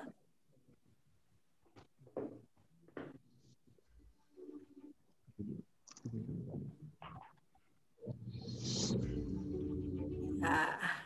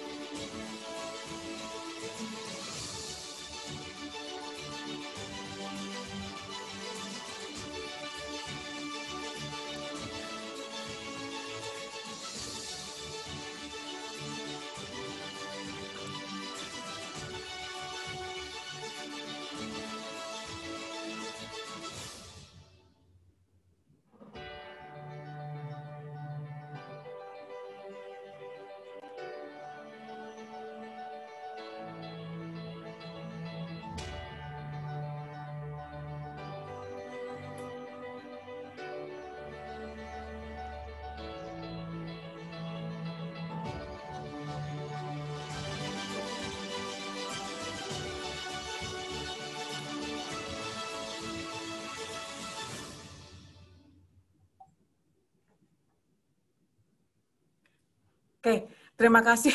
Terima kasih udah udah diperlihatkan. Uh, mohon slide slide-nya saja langsung ya. Oke, terima kasih banyak. Assalamualaikum warahmatullahi wabarakatuh uh, buat kita semua di sini. Uh, tanpa terasa sekarang sudah di bulan September, uh, uh, di tahun 2020 bahkan sudah di penghujung September dan sudah enam bulan kita hidup dalam kecemasan. Mungkin bisa dilihat uh, uh, perlihatkan uh, slide berikutnya bahwa di sini terlihat uh, selama enam bulan kita hidup dalam kecemasan, kerentanan, kegelisahan, jadi kosakata yang kita uh, familiar saat ini, lebih kurang enam bulan ini adalah kosakata mengenai lockdown, mengenai work from home, mengenai jaga jarak, mengenai kekhawatiran kehilangan pekerjaan, ba banyak bisnis yang gulung tikar, uh, resesi, uh, menjadi kosakata yang mendominasi obrolan kita, diskusi kita sehari-hari, bahkan menjadi momok buat kita. Namun Bapak Ibu semua, suka atau tidak, nyaman atau tidak, hidup terus berjalan. Dan tanggung jawab kita sebagai suami, sebagai istri, anak, orang tua, bahkan kita sebagai warga pun harus dijalankan. Jadi pilihannya dalam situasi seperti ini hanya dua, Bapak Ibu. Apakah ingin menjadi bagian dari cerita suram di tahun 2020 atau menjadikan tahun 2020 ini sebagai tahun pencerahan dan kebangkitan untuk menjadi individu yang lebih baik. Saya memilih dan mengajak kita semua untuk menggunakan tahun 2020 ini sebagai tahun di mana kita melakukan introspeksi tentang bagaimana berbagai hal dalam kehidupan kita, termasuk bagaimana mengelola keuangan dengan baik dan benar. Oke, slide berikutnya. Saya ingin mengucapkan terima kasih karena hari ini saya mendapatkan kesempatan untuk sharing tentang bagaimana perempuan bisa memiliki peran penting dalam ketahanan. Tadi Pak Koko juga uh, telah bercerita ya mengenai bagaimana powerfulnya seorang ibu untuk membentuk suatu prestasi anaknya. Uh, bagaimana seorang wanita itu juga uh, penting dalam kelanjutan dan kemakmuran keuangan bagi diri sendiri dan bagi keluarga, khususnya dalam menerapkan prinsip asuransi syariah. Jadi sebelum masuk ke dalam unsur asuransi syariah, saya ingin memaparkan alasan kenapa perempuan itu betul-betul harus lebih berani untuk pegang kendali, terutama dalam pengelolaan keuangan. Alasannya bisa banyak sekali. Namun saya coba share tiga hal saja yang sesuai dengan pengalaman saya selama menggeluti dalam industri asuransi dan sekaligus sebagai ibu dan sebagai istri. Tiga hal ini saya sebut sebagai kelebihan yang dimiliki oleh kaum perempuan yang bisa menjadi modal untuk menjadi pengelola keuangan yang mumpuni, yang handal. Slide berikutnya. Um, yang pertama adalah perempuan itu lebih rentan. Ibu Menteri Keuangan kita, Sri Mulyani, menyatakan bahwa gaji perempuan lebih rendah 23 persen dibanding dengan pria. Itu dilihat dari tentunya survei atau research. Dan hanya ada 53 persen dari total perempuan usia produktif yang bekerja, dari total keseluruhan 100 persen, hanya 53 persen. Dan angka ini jauh lebih kecil dibandingkan dengan pria yang memiliki persentase 83 persen saya tidak mengatakan bahwa kelebihan uh, bahwa keterlibatan perempuan di dunia kerja juga harus mencapai tingkat yang sama. Enggak, tidak sama sekali. Karena sisa yang 47% itu juga pasti memiliki profesi yang yang sangat mulia, yaitu sebagai ibu rumah tangga dan sangat susah juga, gitu ya. Um, karena ini bukan pekerjaan yang mudah sebagai ibu rumah tangga.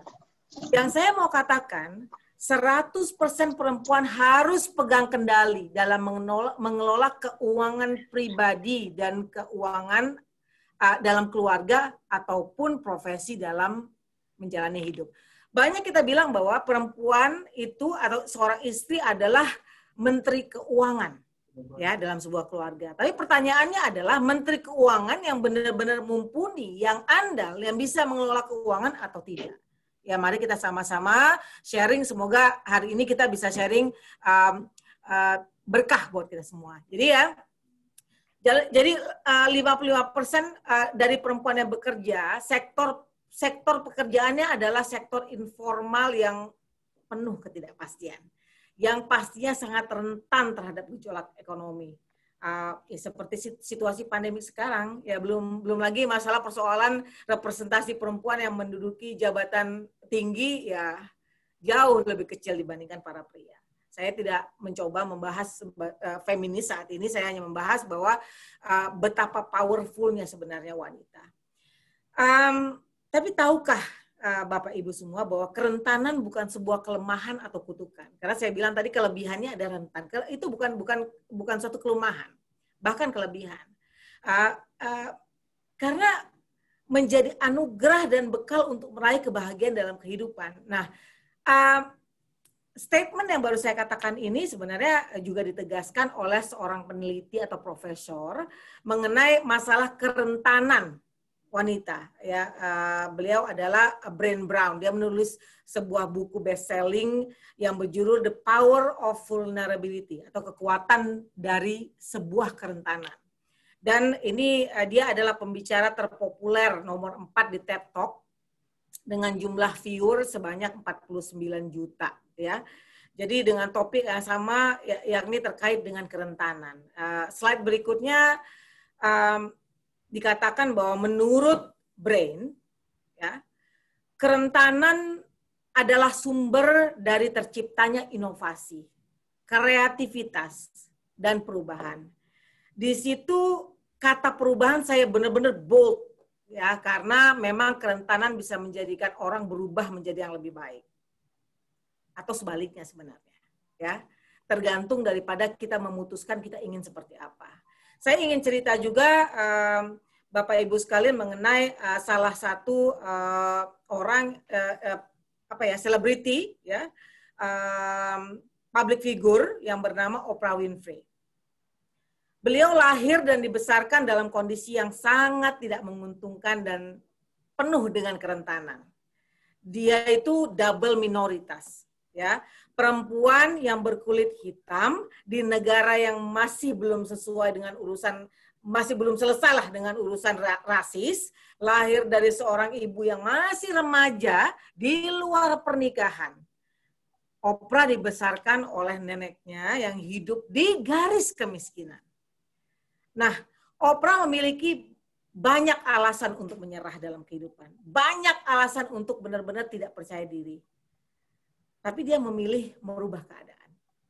Karena yang bisa merubah keadaan adalah diri kita sendiri, ya. Jadi tugas kita adalah bukan untuk meratapi kita kita sedih, merata, meratapi tahun ini adalah tahun yang suram, uh, tapi uh, yang diberikan kepada kita adalah sesuatu yang given, sesuatu yang diberikan kepada kita di luar kendali kita, di, sesuatu yang tidak bisa kita kontrol. Tugas kita adalah untuk bangkit dan memilih ending dari kisah kita seperti apa. Sama seperti Oprah memilih ending yang dahsyat. Sama seperti kita, pada saat 2020 ini bukan hanya kita benar-benar yang mengalami hal seperti ini seluruh dunia, tapi bagaimana kita semua yang ada di sini bisa mulai menulis cerita kehidupan kita yang nantinya bisa kita banggakan di tahun-tahun berikutnya. Bukan cerita kita, eh tahun 2020 adalah tahun yang suram. Eh tahun 2020 adalah tahun yang lockdown. Eh, tahun 2020 adalah tahun yang susah. Tapi kita bisa mengatakan, ya, tahun 2020 ada satu kejadian yang membawa hikmah kepada kita semua. Nah, kembali kepada apa yang dipaparkan oleh Ibu Sri Mulyani, bagaimana perempuan bisa sejahtera dengan cerita ketidakadilan seperti itu? Jawabannya sangat bisa. Kalau dibilang bisa, sangat bisa. Tadi salah satu contoh. Contoh yang lebih yang lebih um, mungkin uh, menggelitik juga adalah uh, Bapak Ibu banyak sekali ya penyanyi-penyanyi uh, dunia yang ngetop setelah dia itu apa ya setelah dia tuh diputus cinta setelah dia itu broken home dan sebagai kita nggak harus seperti itu. Tapi artinya bahwa it's all up to us. Kita mau membuat cerita hidup kita seperti apa. Karena kita masing-masing diberikan akal dan pikiran oleh Allah Subhanahu Wa Taala. Tinggal bagaimana kita menggunakan ini. Nah, jadi um, kalau kita bicara mengenai kesejahteraan, tentunya tidak melulu mengenai gaji, mengenai pendapatan yang tinggi, tapi soal bagaimana kita mengelola keuangan yang baik. Jadi nanti saya akan jelaskan dengan detail. Jadi tidak semata-mata bahwa kalau kita punya uh, gaji yang tinggi, uh, artinya kita bisa mengelola keuangan dengan baik, belum tentu. Kalau kita punya income yang tinggi juga, pendapatan yang tinggi juga, artinya kita itu sejahtera, belum tentu juga. Nah, seperti itu. Oke, uh, kelebihan yang kedua mengenai perempuan. Slide berikutnya, um, perempuan hidup lebih lama. Bukan saya yang bilang, saya tidak mendahului Allah Subhanahu Wa Taala. Ini berdasarkan dari uh, data uh, WHO. Ya, di situ dibilang bahwa penelitian dari WHO menyebutkan rata-rata perempuan hidup 6 hingga 8 tahun lebih lama dari lelaki. Ya, penyebabnya antara lain adalah unsur biologis dan perilaku hidup yang berbeda antara perempuan dan wanita. So, apa hubungannya dengan pengelolaan uang? Sudah jelas sangat erat hubungannya, gitu ya. Nah, hidup lama ini sebetulnya adalah sebuah resiko tersendiri karena akan semakin terpapar dengan penyakit dengan bertambahnya usia tentu ya, serta kebutuhan finansial untuk hidup pun lebih banyak tentunya ya. Uh, walau usia senja, kebutuhan dasar masih tetap ada dong ya. Ke, kita butuh pakaian dong, kita perlu pangan dong, kita perlu lifestyle dong, dan kebutuhan tersebut memerlukan dana dan harus disiapkan uh, sendiri dan harus disiapkan sedini mungkin jangan gantungan hidup kita pada anak cucu kita nanti karena mereka sudah punya kehidupan mereka sendiri. Jadi jangan jangan sampai kita dalam uh, memperlakukan anak kita seperti sandwich di mana dia harus menanggung kita nantinya dan menanggung keluarganya pada saat bersamaan. Yang kemungkinan itu berlaku sama kita gitu ya. Kalau memang seorang anak itu mumpuni silahkan silahkan saja. Tapi kita tentunya pengen hidup kita tua sehat dan senang gitu ya. Melihat anak kita juga sehat dan senang dan bagaimana mengelola keuangan serta keluarga yang baik. Jadi seorang istri yang secara statistik hidupnya lebih lama dari suami kembali tadi harus memikirkan keuangan keluarga karena untuk ditinggal pergi lebih dahulu, kepada siapa lagi seorang istri harus menggantungkan dirinya, gitu ya. Uh, kalau tidak dengan diri sendiri. Jadi uh, bagi kaum ibu rumah tangga, apalagi yang 100% penghasilannya berasal dari suami, kita benar-benar harus pintar mengelola keuangan kita. Jadi uh, pastikan ada dana, ada cadangan dana yang bisa dikelola untuk melanjutkan kehidupan. Caranya adalah sejak dini kita lakukan. Perempuan harus bisa dan pandai mengatur dan mengelola keuangan. Ya. Dan jika Bapak Ibu memiliki anak perempuan, ilmu kelola uang itu harus diajarkan kepada perempuan, kepada anak perempuan kita sedini mungkin. Nah, uh, jadikan hadiah usia ini menjadi kekuatan perempuan untuk berani benar-benar pegang kendali Ya, dua tadi. Nah, sekarang yang ketiga, kelebihan apa? Slide berikutnya, lebih konservatif katanya. Kelebihan ini kelebihan perempuan adalah lebih konservatif. Secara umum dan alamiah, kaum perempuan adalah kaum yang lebih membutuhkan kejelasan ya dalam kehidupan ini. Contohnya aja misalnya ya, kalau seorang gadis yang telah menjalani pacaran dengan dengan uh, uh, seorang laki-laki, umumnya kan perempuan ini kita lah dulu ya, saya lah dulu waktu pada saat masih muda tidak mau digantung lama-lama. Istilahnya ya nggak mau main-main, harus ada kejelasan, kepastian akan hubungan ini mau dibawa ke mana gitu ya sampai ada lagunya loh bapak ibu mau dibawa gitu kira ya. Jadi kalau kalau memang belum serius ya bilang aja belum serius. Nah itu itu adalah uh, uh, perempuan ya. Uh, nah, sifat butuh kejelasan ini adalah satu contoh dari sikap konservatif. sebenarnya konservatif ini bukan selalu berarti old school ya, bukan berarti kolot, bukan berarti jadul, tetapi mungkin lebih kepada kestabilan, lebih kepada kehati-hatian. Um, karena kecenderungan sifat konservatif ini kaum kaum perempuan kita ini menjadi lebih berhati-hati dan lebih penuh dalam perencanaan. Ya, sifat-sifat inilah sangat baik dan berguna um, saat kita menjaga dan mengelola keuangan kita. Jadi dengan sikap konservatif dalam soal keuangan perempuan, uh, kelebihannya adalah lebih tidak mau ambil resiko biasanya yang berlebihan ya, resiko yang berlebihan ya, karena pasti hitung-hitungannya akan lebih rinci dan detail. Uh, lebih sedikit punya utang ya, Uh, jika pun punya utang, uh, biasanya saya nggak bilang 100% wanita seperti itu ya, tapi kebanyakan jika jika pun berutang, fokus utangnya adalah utang-utang produktif yang seperti misalnya KPR atau usaha yang bisa uh, apa ya membuat satu pendapatan lain. Selain itu lebih fokus pada keluarga sehingga tidak mau apa ya masuk dalam hal-hal yang spekulatif. Kalau kita ini wanita, apalagi apalagi ibu rumah tangga, mikirnya tuh banyak sekali. Semua yang dipikirin gitu ya. Nah, lebih sering bertanya pada ahli untuk mendapatkan nasihat-nasihat keuangan. Ya, karena tidak perlu malu untuk bertanya. Ini adalah sifat daripada wanita juga. Um, next slide. Sekarang saya ingin berbicara mengenai kenapa asuransi. Ya. Uh, Bapak Ibu sekalian, saya bergelut di dunia, di dunia asuransi uh, dari awal. Dari saya benar-benar tidak mengetahui apa itu asuransi, dari benar-benar saya against, tidak tidak tidak setuju apa itu namanya asuransi. Sampai dengan saya uh, melihat dengan kepala mata uh, kepala dan mata saya sendiri dan memiliki pengalaman sendiri bahwa saat tiga bulan saya menjadi agen asuransi pada saat itu, ya hampir putus asa karena berapa puluh tahun yang lalu adalah penolakan, penolakan, penolakan, dan penolakan. Hampir putus asa saat itu saya.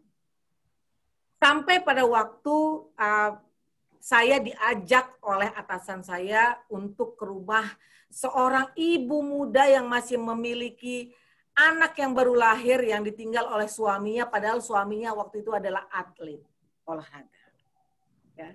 Di situ saya ngelihat bahwa Iya, memang pada saat seorang istri kehilangan suami, uh, tumpuannya, tentu saja menangis.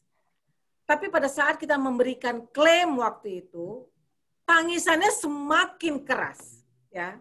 Sehingga uh, saya semakin bertanya waktu itu dengan ya waktu itu masih baru pertama kerja saya bilang e, ibu kenapa menangis apa ada yang salah ya uh, beliau uh, menangis langsung berbilang seperti ini. Uh, memang dengan uang ini tidak menggantikan suami saya. Tapi dengan uang ini saya tahu bahwa suami saya benar-benar sayang kepada saya dan anak saya.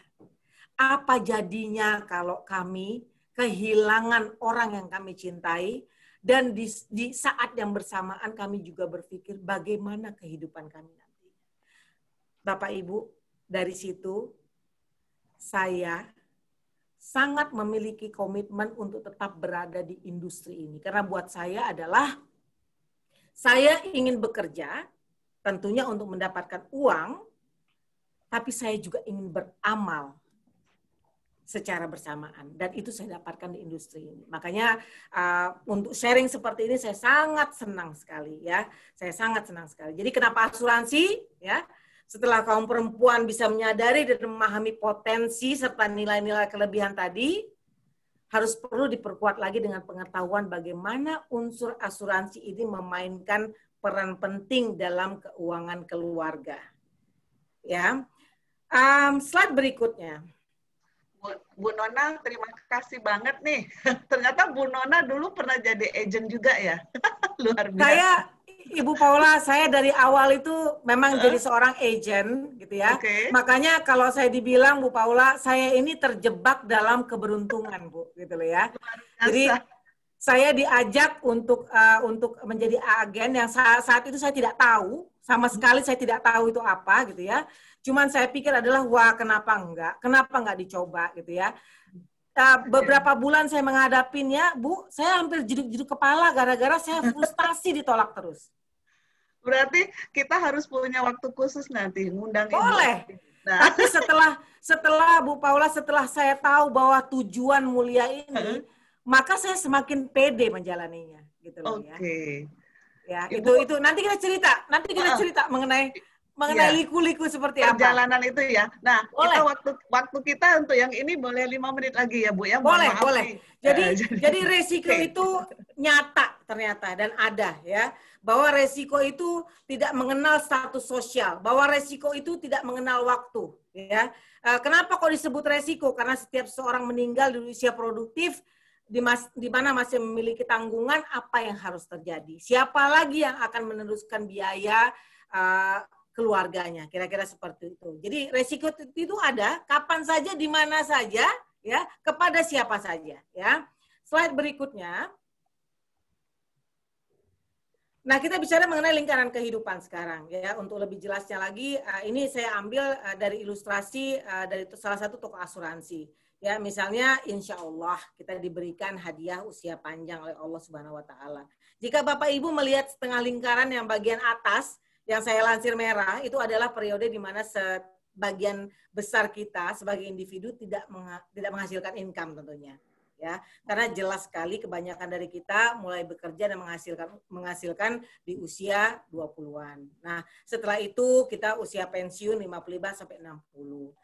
Dan mungkin kita betul-betul sudah memiliki income memadai pada usia 30-an saat itu. Jadi silakan Bapak Ibu sekarang uh, sudah mulai lihat kita ada di pie di mana silakan hitung-hitung ya bahwa uh, tersisa berapa tahun usia kita menuju um, usia pensiun. Nah, tentu saja uh, kita tidak rahasia Allah ya semuanya, tapi kita bisa hitung-hitungkan berdasarkan uh, uh, data-data uh, mortalitas ini. Jadi saya yakin ya uh, Bapak Ibu sedang giat-giatnya mengumpulkan uang atau istilahnya uh, ya perencanaan keuangan, tapi mesti diingat juga bagaimana kita juga mesti menyiapkan proteksi terhadap apa yang terjadi. Jangan sampai pada saat kita lagi asik-asiknya mengumpulkan uang, sesuatu terjadi, nauzubillah min zalik, maka uang yang kita kumpulkan akan tergerus untuk itu. Ya, Um, Oke, slide selanjutnya mungkin um, saya saya uh, akan lebih cepat lagi bilang bahwa lingkaran kehidupan tersebut ada empat pertanyaan besar yang timbul ya. Ya pertanyaannya adalah apa jadinya jika kita tidak mampu bekerja hingga usia 60 tahun? Apa jadinya jika hidup ini tak mencapai usia 60 tahun? Berapa dana yang perlu disiapkan untuk masa masa tua nanti dengan lifestyle tentunya yang kita ingin pertahankan. Mampukah kita menyiapkan peninggalan untuk anak-anak kita?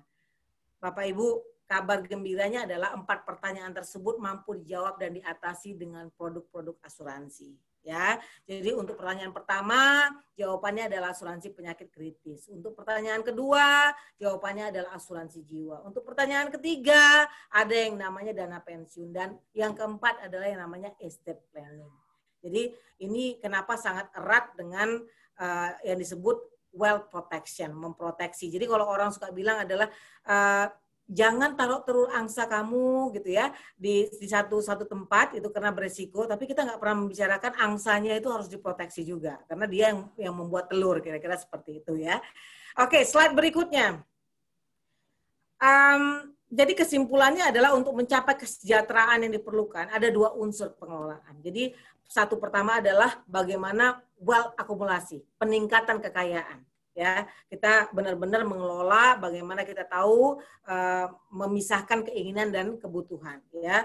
Uh, yang kedua adalah uh, well protection bagaimana kita setelah mengumpulkan kita sibuk mengumpulkan uang kita tapi apabila sesuatu terjadi maka uang kita akan tetap karena ada pihak lain yang akan uh, mem, apa, membiayai ya membiayai dari uh, pengeluaran kita contohnya uh, asuransi. Nah Uh, slide berikutnya kenapa syariah? Ini cepat sekali karena uh, saya bilang kenapa syariah karena syariah ini adalah unsur gotong royong ya. Jadi um, uh, saya, sekarang saya paparkan asuransi syariah tak lain tak bukan karena prinsip dasar syariah itu adalah unsur ya keadilan ya, ya yang yang perempuan itu uh, ya majority adalah uh, yang dicari oleh kaum wanita uh, saya sebut setidaknya tiga alasan. Alasannya adalah berbagi resiko. Ya. Uh, yang kedua, slide berikutnya adalah uh, dasarnya adalah tolong menolong. Yang ketiga, dasarnya adalah transparan. Ya. Karena prinsip-prinsip yang berasaskan keadilan seperti yang tadi saya katakan, itulah yang membuat asuransi syariah cocok bagi kebanyakan kaum perempuan. Lebih dari itu, asuransi syariah ini bersifat universal. Ya, uh, dan bukan hanya untuk kaum muslim saja seperti di Manulife uh, banyak juga uh, produk-produk asuransi syariah kita dimiliki oleh non muslim. Oke, slide berikutnya jadi slide berikutnya ini lebih kepada tadi yang saya katakan di 2020 adalah kisah suram. Nah, kita bisa jadikan tahun 2020 ini bukan sekedar hanya jaga jarak dan pakai masker, tapi sebagai tahun di mana kita mulai berani ambil kendali dalam mengelola keuangan kita. Sehingga nanti 5, 10 atau 15 tahun dari sekarang, ending kisah cerita kita adalah kisah cerita kita yang membanggakan uh, di tahun 2020 ya. Jadi uh, Bapak Ibu, kalau kita ingin berbicara mengenai uh, bagaimana caranya dan kapan untuk berasuransi, uh, Bapak Ibu bisa uh, menghubungi uh, Manulife Indonesia ya, bisa menghubungi website kami di manulife.co.id, bisa mendapatkan informasi lebih lanjut lagi ya. Jika memiliki agen silakan yang kenal silakan menghubungi mereka. Tapi intinya asuransi itu baik di mana saja ya tentang kapan hmm, harusnya uh, sekarang juga karena kita tidak tahu apa yang terjadi. Jadi kalau bisa kita tidak tunda ya jangan tunda ya. eh, kira-kira seperti itu Bapak Ibu. Terima kasih banyak. Uh, gunakan waktu kita dengan baik ya. Uh, gunakan pikiran kita dengan positif. Kalau saya bilang adalah saatnya sekarang think positif, stay negatif. Kira-kira seperti itu. Jadi kita berpikir, bertindak, berperilaku positif, tapi kalau mengenai COVID, kita harus berusaha untuk negatif terus. Terima kasih Bapak Ibu, Bapak Ibu. Uh, saya juga ingin ingin mengucapkan terima kasih dan mohon maaf karena saya tidak bisa join sampai dengan akhir karena saya juga sudah ditunggu untuk meeting berikutnya. Baik. Insya Allah pertemuan kita ini membawa berkah buat kita semua dan kita bisa bertemu lagi di lain waktu. Terima kasih banyak seluruh panitia, terima kasih banyak kolega-kolega saya yang ada di sini dan seluruh peserta webinar. Assalamualaikum warahmatullahi wabarakatuh. Semoga sukses. Salam. Terima kasih lah kita mendapatkan satu motivasi lagi tadi bahwa dalam kerentanan kita pasti dapat tercipta kreativitas, perubahan dan inovasi gitu ya. Dan sebagai perempuan, sebagai menteri keuangan di keluarga masing-masing, yuk sama-sama well apa protection dan well accumulation. Yes. Call Manulife Indonesia dengan Ibu Ibu Nona nanti. Kita akan ada sesi selanjutnya nanti ya dengerin masa jadi agent nanti gitu. Oke. Okay. Baiklah, uh, yang uh, berikutnya uh, Ibu Nuwahidah Saleh sebagai Sekjen Ikatan Pengusaha Muslimah Indonesia, kami persilakan untuk uh, sharing kepada peserta dan saya sendiri sebagai pelaku moderator nih mohon maaf nih Bu mungkin waktunya saya tadi uh, kurang lebih mestinya Ibu duluan, tapi karena satu dan hal lain hal, Ibu jadi di nomor empat. Silakan Ibu Nuaidah Saleh, kami berikan waktunya untuk presentasi.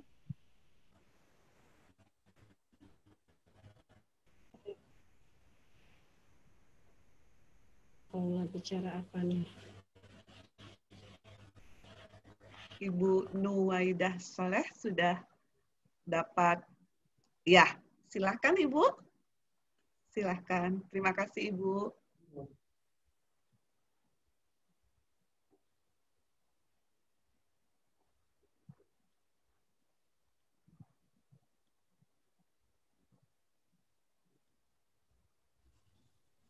Teman-teman, Bapak, Ibu yang terhormat, boleh dicat ya pertanyaannya. Sudah ada satu ke untuk ke Pak Dino, Otoritas Jasa Keuangan, satu kepada Pak Koko, sudah ada yang masuk.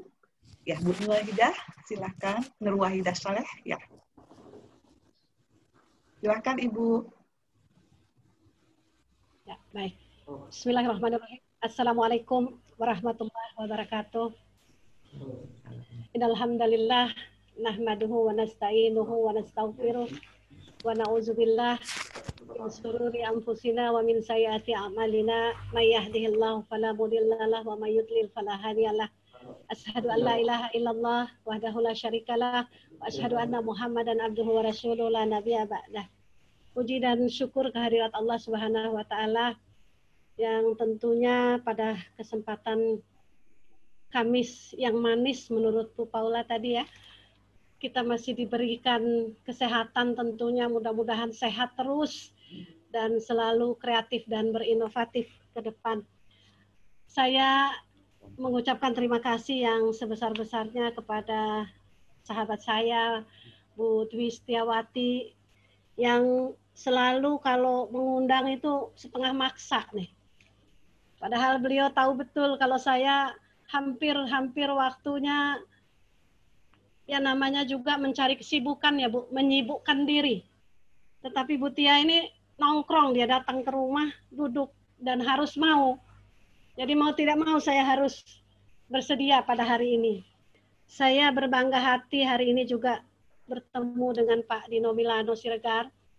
Uh, pasti Pak Dino juga tahu bagaimana kiprah IPMI karena istri beliau juga aktif di PMI. Terima kasih Pak Dino memberi izin kepada istri tercinta untuk bisa mengabdi bersama kami di PMI.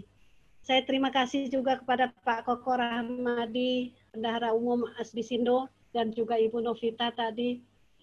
Terima kasih saya kepada Mbak Paula nih, bagus sekali mengatur kegiatan pada sore Kamis Manis ini.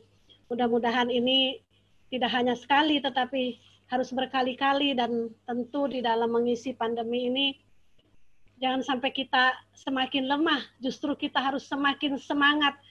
Kalau sekarang baterai baterainya full, bisa tambah satu baterai lagi, Mbak Paula. Mbak Paula. Mudah-mudahan ini insya Allah bermanfaat untuk kita semua. Hadirin yang saya hormati, saudara-saudaraku, ada juga ibu-ibu dari PMI yang hadir pada sore hari ini. Saya tidak berpanjang kalam ya karena dari tadi saya sudah kuliah, saya mencatat semua. Saya kuliah 3 SKS sore hari ini. Dan ini menjadi pembelajaran saya bagi organisasi. Dan saya merasa kurang untuk materi dari Pak Dino maupun Pak Koko ataupun Bu Nona tadi. Karena ini sangat sangat sangat diperlukan oleh kami di IPMI kalau kami di PMI, mohon izin Bapak Ibu, saya tidak menyediakan materi karena memang IPMI lebih kepada aplikasi, menjalankan teori-teori dan wawasan dari Bapak dan Ibu semua, tetapi IPMI tinggal menjalankan saja.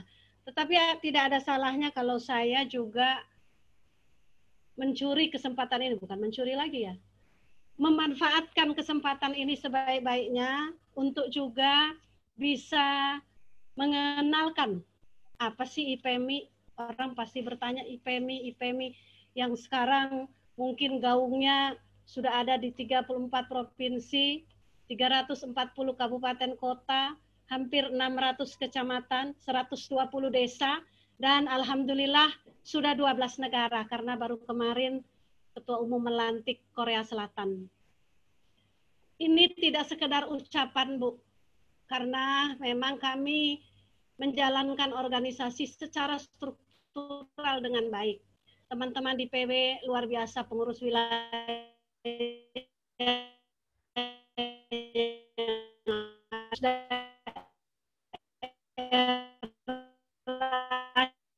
yang menjadi luar biasa. Saya sedikit ingin memperkenalkan mungkinnya Ikatan Pengusaha Muslimah Indonesia. Tetapi tidak semua orang yang ada di dalamnya adalah pengusaha, Bu. Di dalamnya ada tiga unsur yang boleh masuk di dalam IPMI, yaitu muslimah yang sudah jadi pengusaha, muslimah yang ingin menjadi pengusaha, dan muslimah yang hanya sekedar ingin mendapatkan tambahan penghasilan. IPMI merupakan sebuah organisasi independen yang bergerak di bidang pengembangan usaha dan kesejahteraan masyarakat. Tentunya dalam hal ini muslimah.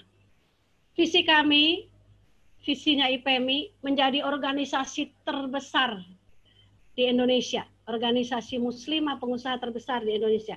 Besar dalam hal ini, besar pengaruhnya, besar manfaatnya, dan juga eh, kami berharap besar dalam jumlahnya. Dari samping itu, selain menjadi organisasi terbesar, tentu organisasi yang bermanfaat dan mandiri. Bermanfaat dalam hal ini manfaat untuk anggotanya sendiri, manfaat untuk masyarakatnya, dan tentu bermanfaat untuk pemerintahnya. Kemudian yang berikutnya, mandiri. Mandiri secara ekonomi dalam mengatur keuangannya dan mandiri di dalam mengambil kebijakan. Dan tentu selalu berdasarkan kepada muslimah yang ingin meningkatkan kesejahteraan muslimah lainnya dengan mas dan dalam hal ini tentunya masyarakat Indonesia menuju kemandirian yang berkepribadian Indonesia dan berakhlakul karimah. Tidak bisa lepas itu. Pribadinya harus berkepribadian Indonesia dan tentu sebagai seorang muslimah harus berakhlakul karimah. Di dalam hal ini IPMI konsentrasinya memang kepada UKM. Dan menghadapi pandemi ini bukan bukan rahasia lagi bahwa UKM sangat terdampak di da dalam menghadapi bagaimana produktivitas, pemasaran dan lain sebagainya tentu sangat dirasakan sekali. Tetapi sejak awal pandemi kami selalu mendengungkan bahwa jangan pernah panik ini adalah ujian dari Allah. Ujian buat kita semua. Mari kita mengedepankan manajemen sabar dan manajemen syukur. Sabar menerima wabah dan selalu bersyukur bahwa kita masih diberi sehat, masih diberi umur, masih bisa bergerak, yang terutama masih bisa bermanfaat. Mudah-mudahan yang terakhir itu yang selalu kita dengungkan. Jangan pernah melewati hari dari hari ke hari tanpa bermanfaat. Jangan pernah melalui hari tanpa meninggalkan manfaat. Itu yang kami dengungkan. Ketika mulai pandemi ini intensitas pertemuan makin bagus. Di, di pusat, di kepengurusan pusat, di kepengurusan wilayah yang ada di provinsi, di daerah, di kabupaten kota, di kecamatan, sampai ke unit desa. Itulah yang kami terus dorong. Bahwa pandemi bukan untuk menjadi kita panik, tetapi mari kita terus menambah kesabaran dan dan tentunya uh, rasa syukur. Lalu apa yang sudah dilakukan oleh IPMI menghadapi pandemi ini dengan kalau tadi judulnya kan dorong perempuan tingkatkan produktivitas keuangan syariah. Keuangan syariahnya tuh pasti otomatis karena muslimah harus ke situ, jangan ke lain, harus ke syariah. Itu itu kunci yang awal. Kemudian meningkatkan produktivitas itu pasti suatu hal yang menjadi prioritas. Karena teman-teman di UKM harus menjalankan ini tidak bisa diam begitu saja. Tetapi mohon maaf bukan kami ujub ya sebagai hamba Allah bahwa memang sejak tahun kedua keberadaannya IPMI sudah membuat satu gerakan nasional yaitu dengan tagline-nya tuh cinta, bangga, beli produk teman sendiri. Itu mungkin yang membuat teman-teman bisa bertahan di tengah pandemi ini. Karena teman-teman terus mengikhtiarkan itu untuk bisa tetap memasarkan dan produktivitas dengan baik. Karena bagaimanapun kalau tidak ada pasar masih punya teman yang akan beli. Betul, kalau beli punya teman sendiri sedikit mahal, pasti itu ada keluhannya. Namanya mak-mak carinya yang lebih murah. Bila perlu ke ujung kulon dia cari asal selisih lima perak. Itu ibu-ibu, itu naluri. Tetapi dengan gebrakan ini akhirnya bisa. Bahwa memang kita harus beli produk teman kita sendiri. Mahal enggak apa-apa. Tapi mari kita lihat. Kalau kuliner misalnya, meski mahal, tetapi kita jamin kehalalan dari bahan bakunya. Satu. Kemudian kita jamin kebersihannya, karena kita tahu teman kita yang bikin. Yang ketiga, pastinya produknya produk yang unggul, enak. Terus harga sedikit mahal, tidak masalah. Tapi ya itu tadi yang utama itu kehalalannya. Kemudian kalau fashion, mahal sedikit, tetapi pasti up to date. Tidak banyak corak. Kan teman-teman perempuan nih pasti nggak mau sama dengan temannya yang lain. Kalau udah lihat ada yang make, ah langsung cepet-cepet kasih mbak pembantu di rumah. Itu udah pasti. Tetapi dengan ada beli produk teman sendiri, itu udah pasti coraknya tidak banyak, modelnya tidak banyak, dan lain sebagainya. Itu salah satu kelebihannya.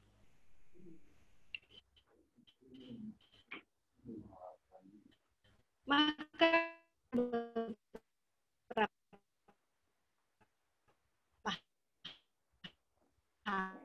huruf PP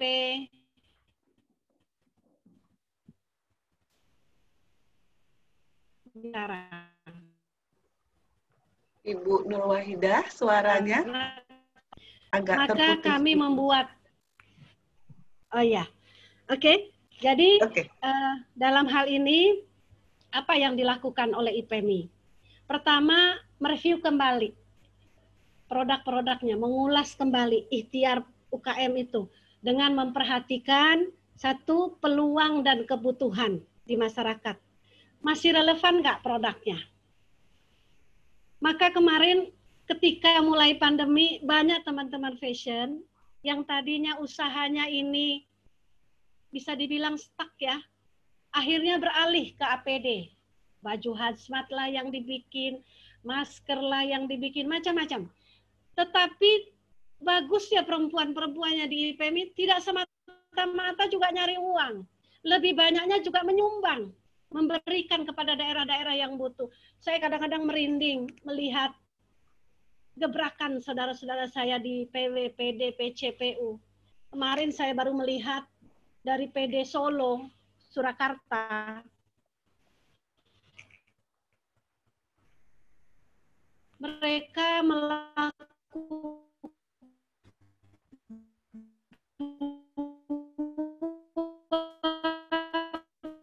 itu merupakan salah satu cara mereka menghadapi pandemi ini. Tidak semata-mata juga mencari keuntungan. Kemudian kami menerapkan UKM harus punya database. Mereka harus punya pendataan mulai dari pengurusnya, anggotanya, simpatisannya. Untuk apa? Agar mereka tahu ke mana barang atau produk mereka bisa dipasarkan. Itu kami terapkan terus. Kami lakukan secara terus-menerus. Kemudian mereka harus mampu mengklasifikasi produknya. Untuk apa? Agar mudah dipasarkan. Ke mana cocoknya ini? Ke provinsi mana cocoknya ini? Seperti itu. Lalu yang berikutnya, mengikhtiarkan pemasaran dengan digitalisasi. Tadi saya dengar banyak sekali dari Pak Dino, Pak Koko, Bu Nova, dan lain sebagainya. Dari Bu Wakil Bu Menteri juga tadi bagus sekali.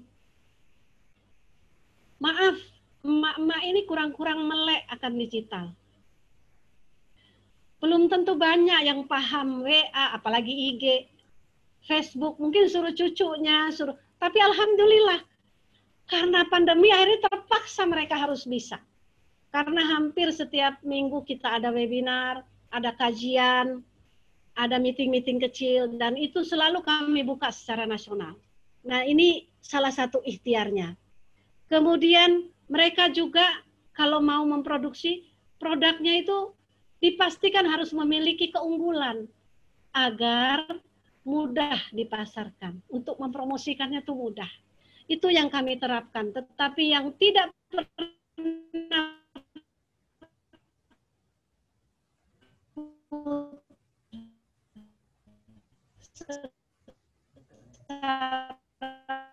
berkesinambung ada IPMI untuk bisa memberi pelatihan-pelatihan, memberikan edukasi tentang uh, perekonomian syariah. Saya ber, berterima kasih kepada OJK pada kesempatan hari ini. Dan IPMI memang, Bu, tidak lagi banyak bicara. Yang ada kerja, kerja, kerja, kerja.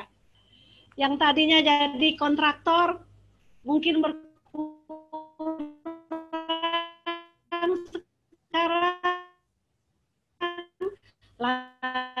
Aduh luar biasa melihat mereka bisa panen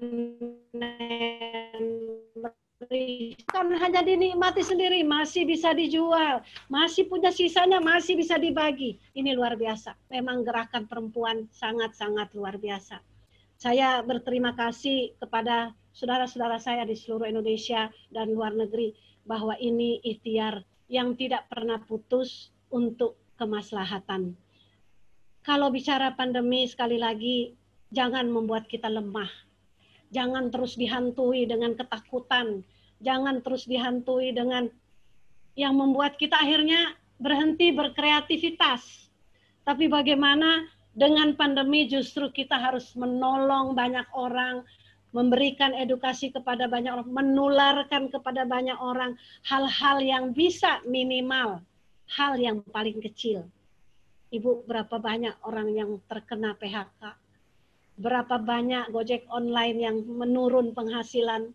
Berapa banyak yang suami-suami sudah ada di rumah, tidak ada makanan untuk anak istri? Jangan kita lihat yang ada di sini. Ini insya Allah semua orang orang bisa hidup di mana pun berada gitu. Dilepas di hutan belantara, saya yakin Bu Paula masih bisa hidup. Karena masih punya kekuatan uh, naluri dan apa namanya motivasi serta apa namanya tuh inovasi yang luar biasa. Jadi pasti masih bisa.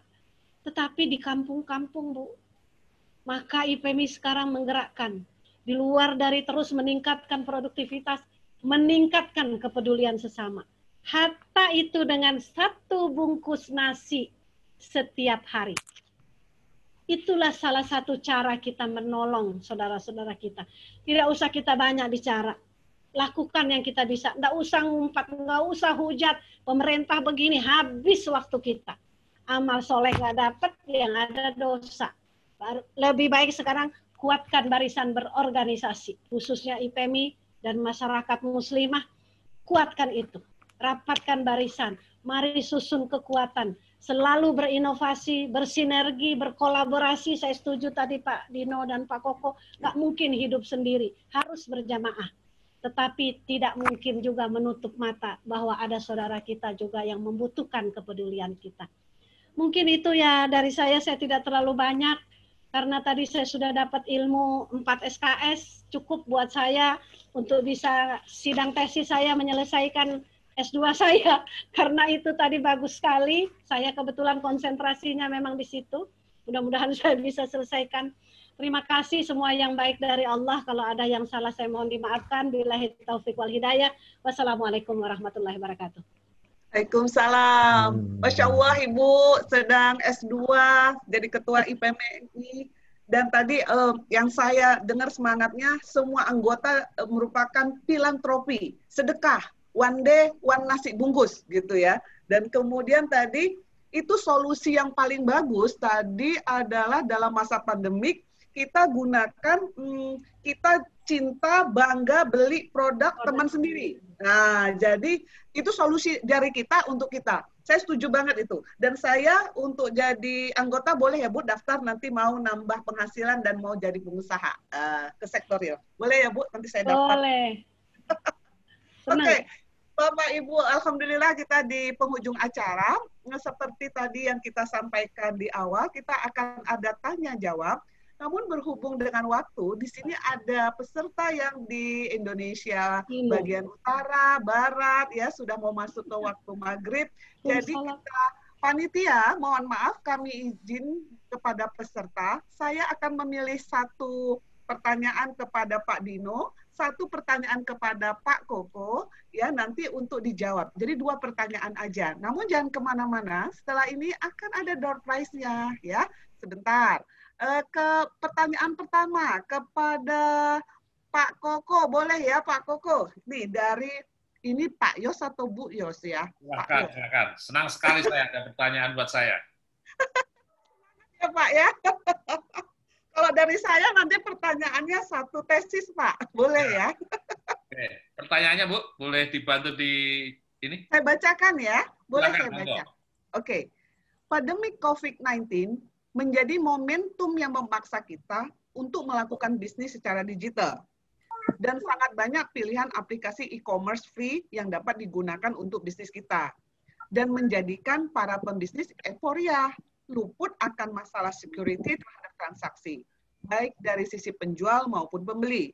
Yang ingin saya tanyakan, apa kira-kira pendapat dan peran OJK dan perbankan syariah terhadap masalah ini uh, untuk melindungi pembisnis dalam bertransaksi dan meminimalisir retensi orang berbisnis secara online.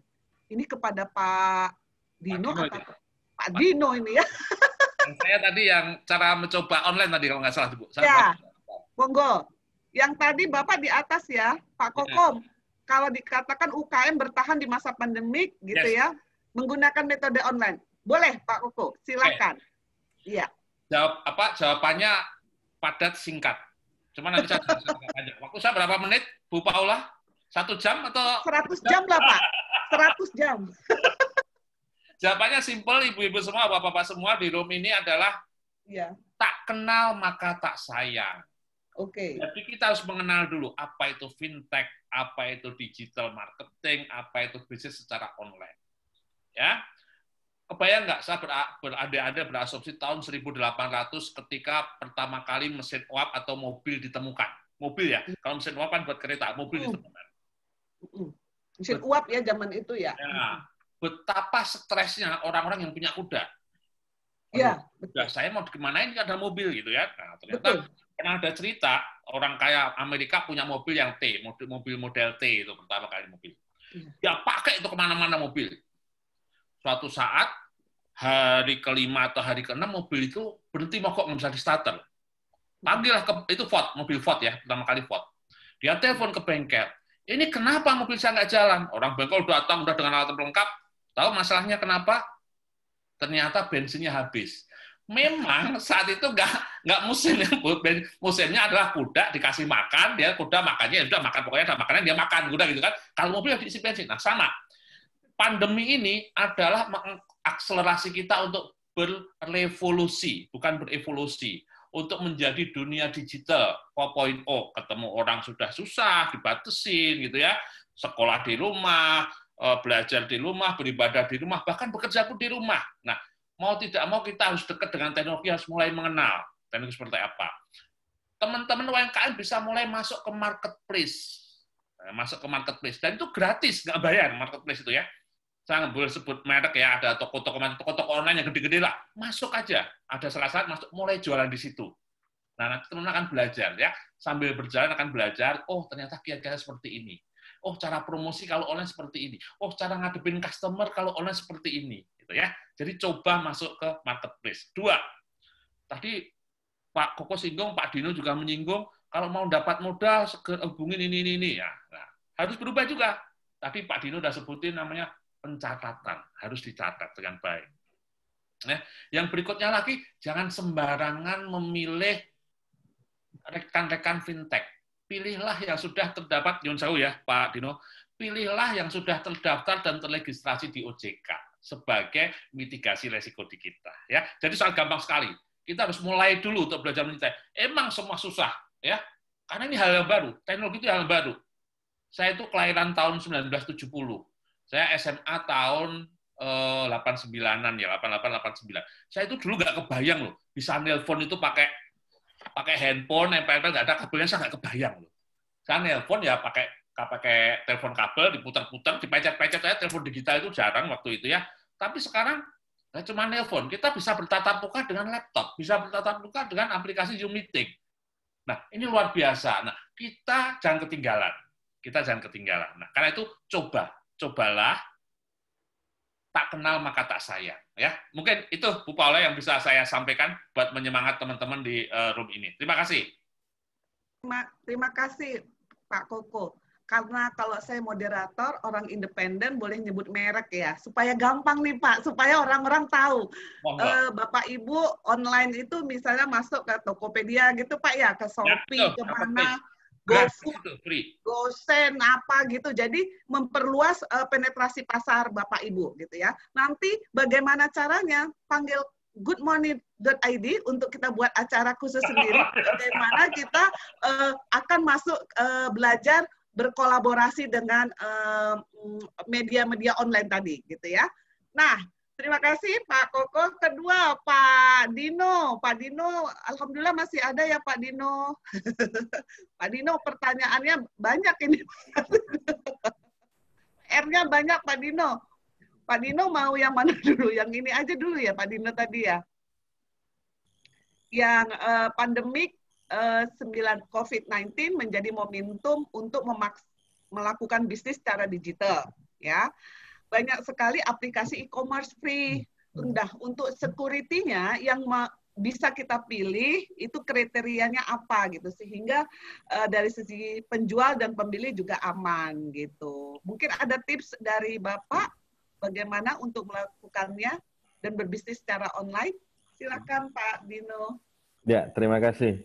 Um, mungkin pertanyaan ini sudah dijawab tadi sama Pak Koko gitu ya.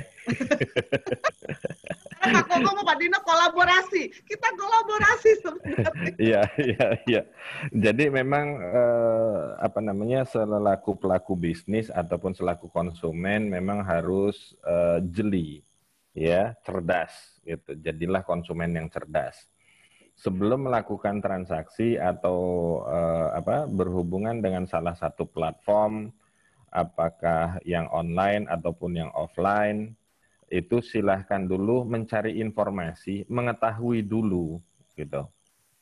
Uh, ini sudah mendapatkan izin atau belum di, dari OJK karena seluruh lembaga jasa keuangan atau seluruh uh, platform sistem keuangan itu harus terdaftar di OJK. Jadi itu dulu pertama. Kalau memang itu sudah dilakukan, insya Allah nanti semua transaksinya memang sudah bisa di-track dan kemudian kita bisa uh, meyakini tingkat keamanan dari transaksi yang dilakukan. Ya. Kalaupun itu nanti kemudian uh, ternyata kalau transaksi itu sudah dilakukan untuk uh, lembaga jasa keuangan yang sudah terdaftar di OJK atau sudah berizin, terjadi permasalahan, maka POJK juga sudah mengeluarkan peraturan uh, POJK nomor 1 tahun 2013 terkait dengan perlindungan konsumen sektor jasa keuangan. Ada langkah-langkah yang bisa dilakukan yang uh, terkait dengan apa namanya uh, perselisihan antara konsumen dengan penyelenggara jasa keuangan dan di sana kemudian nanti akan uh, ada insya Allah ada solusi atau jalan keluar terkait dengan permasalahan yang dihadapi. Jadi nggak usah khawatir, semuanya memang sudah difasilitasi oleh peraturan ini. Saya rasa itu Bu Paula. Baik, baik. Uh, jadi intinya uh, ada PR memang buat kita uh, uh, karena uh, banyak sekali peserta UMKM ini satu waktu tadi mau membesarkan bisnisnya adalah bisnis online. Mereka juga sudah mau belajar, namun pengen tahu bagaimana dan uh, kualifikasi apa untuk bisa masuk ke sana gitu ya. Jadi itu memang eh, sosialisasi dan literasi harus kita lakukan. Kedua tadi pembiayaan juga dengan vintage ya Pak ya. Dan mm, milihnya yang mana gitu kan uh, yang udah ada logo OJK-nya atau bagaimana gitu. Jadi uh, dengan kerendahan hati Pak Koko, Pak Dino ini udah PR lagi nanti kalau kita undang nextnya topiknya lebih spesifik sudah siap sedia gitu ya. Terima kasih.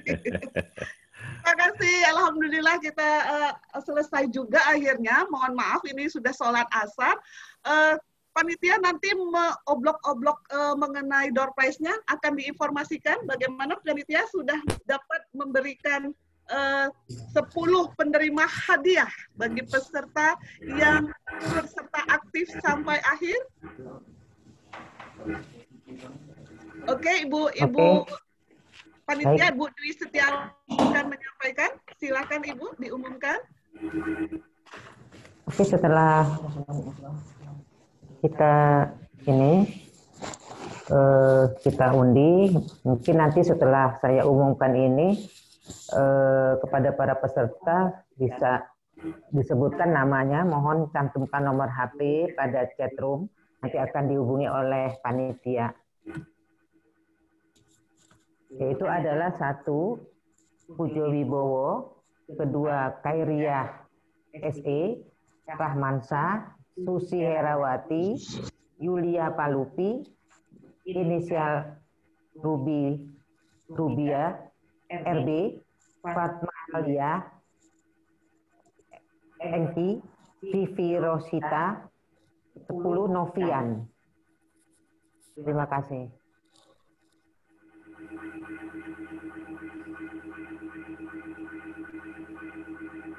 Paula masih mute, Ibu Paula masih mute.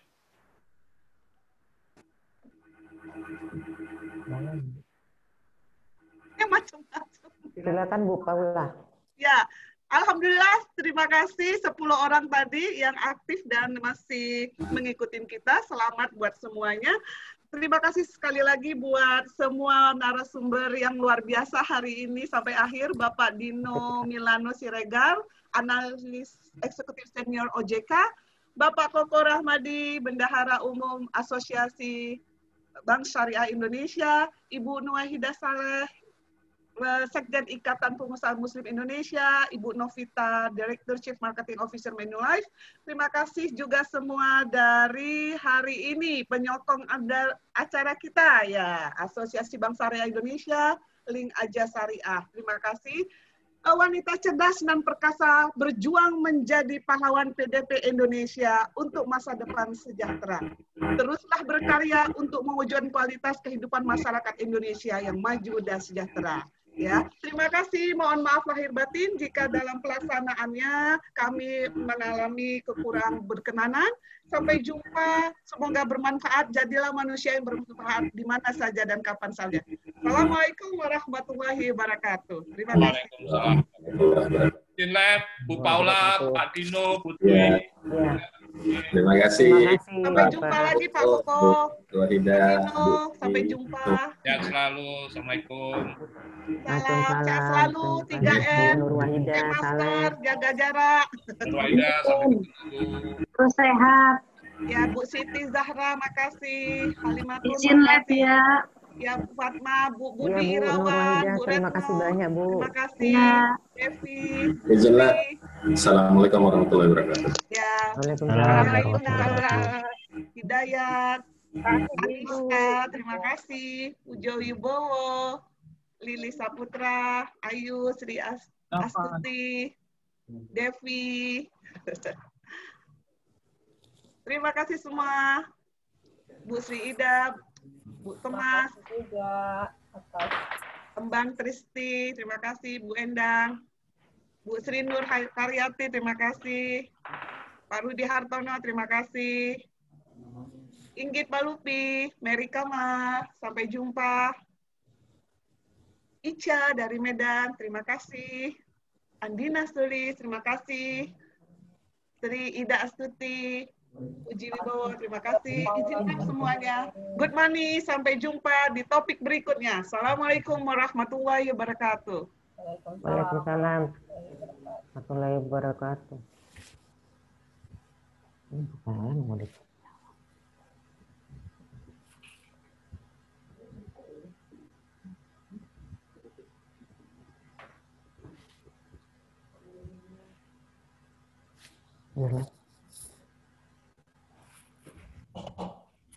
Di Hartono masih ada. Pak Rudi Hartono.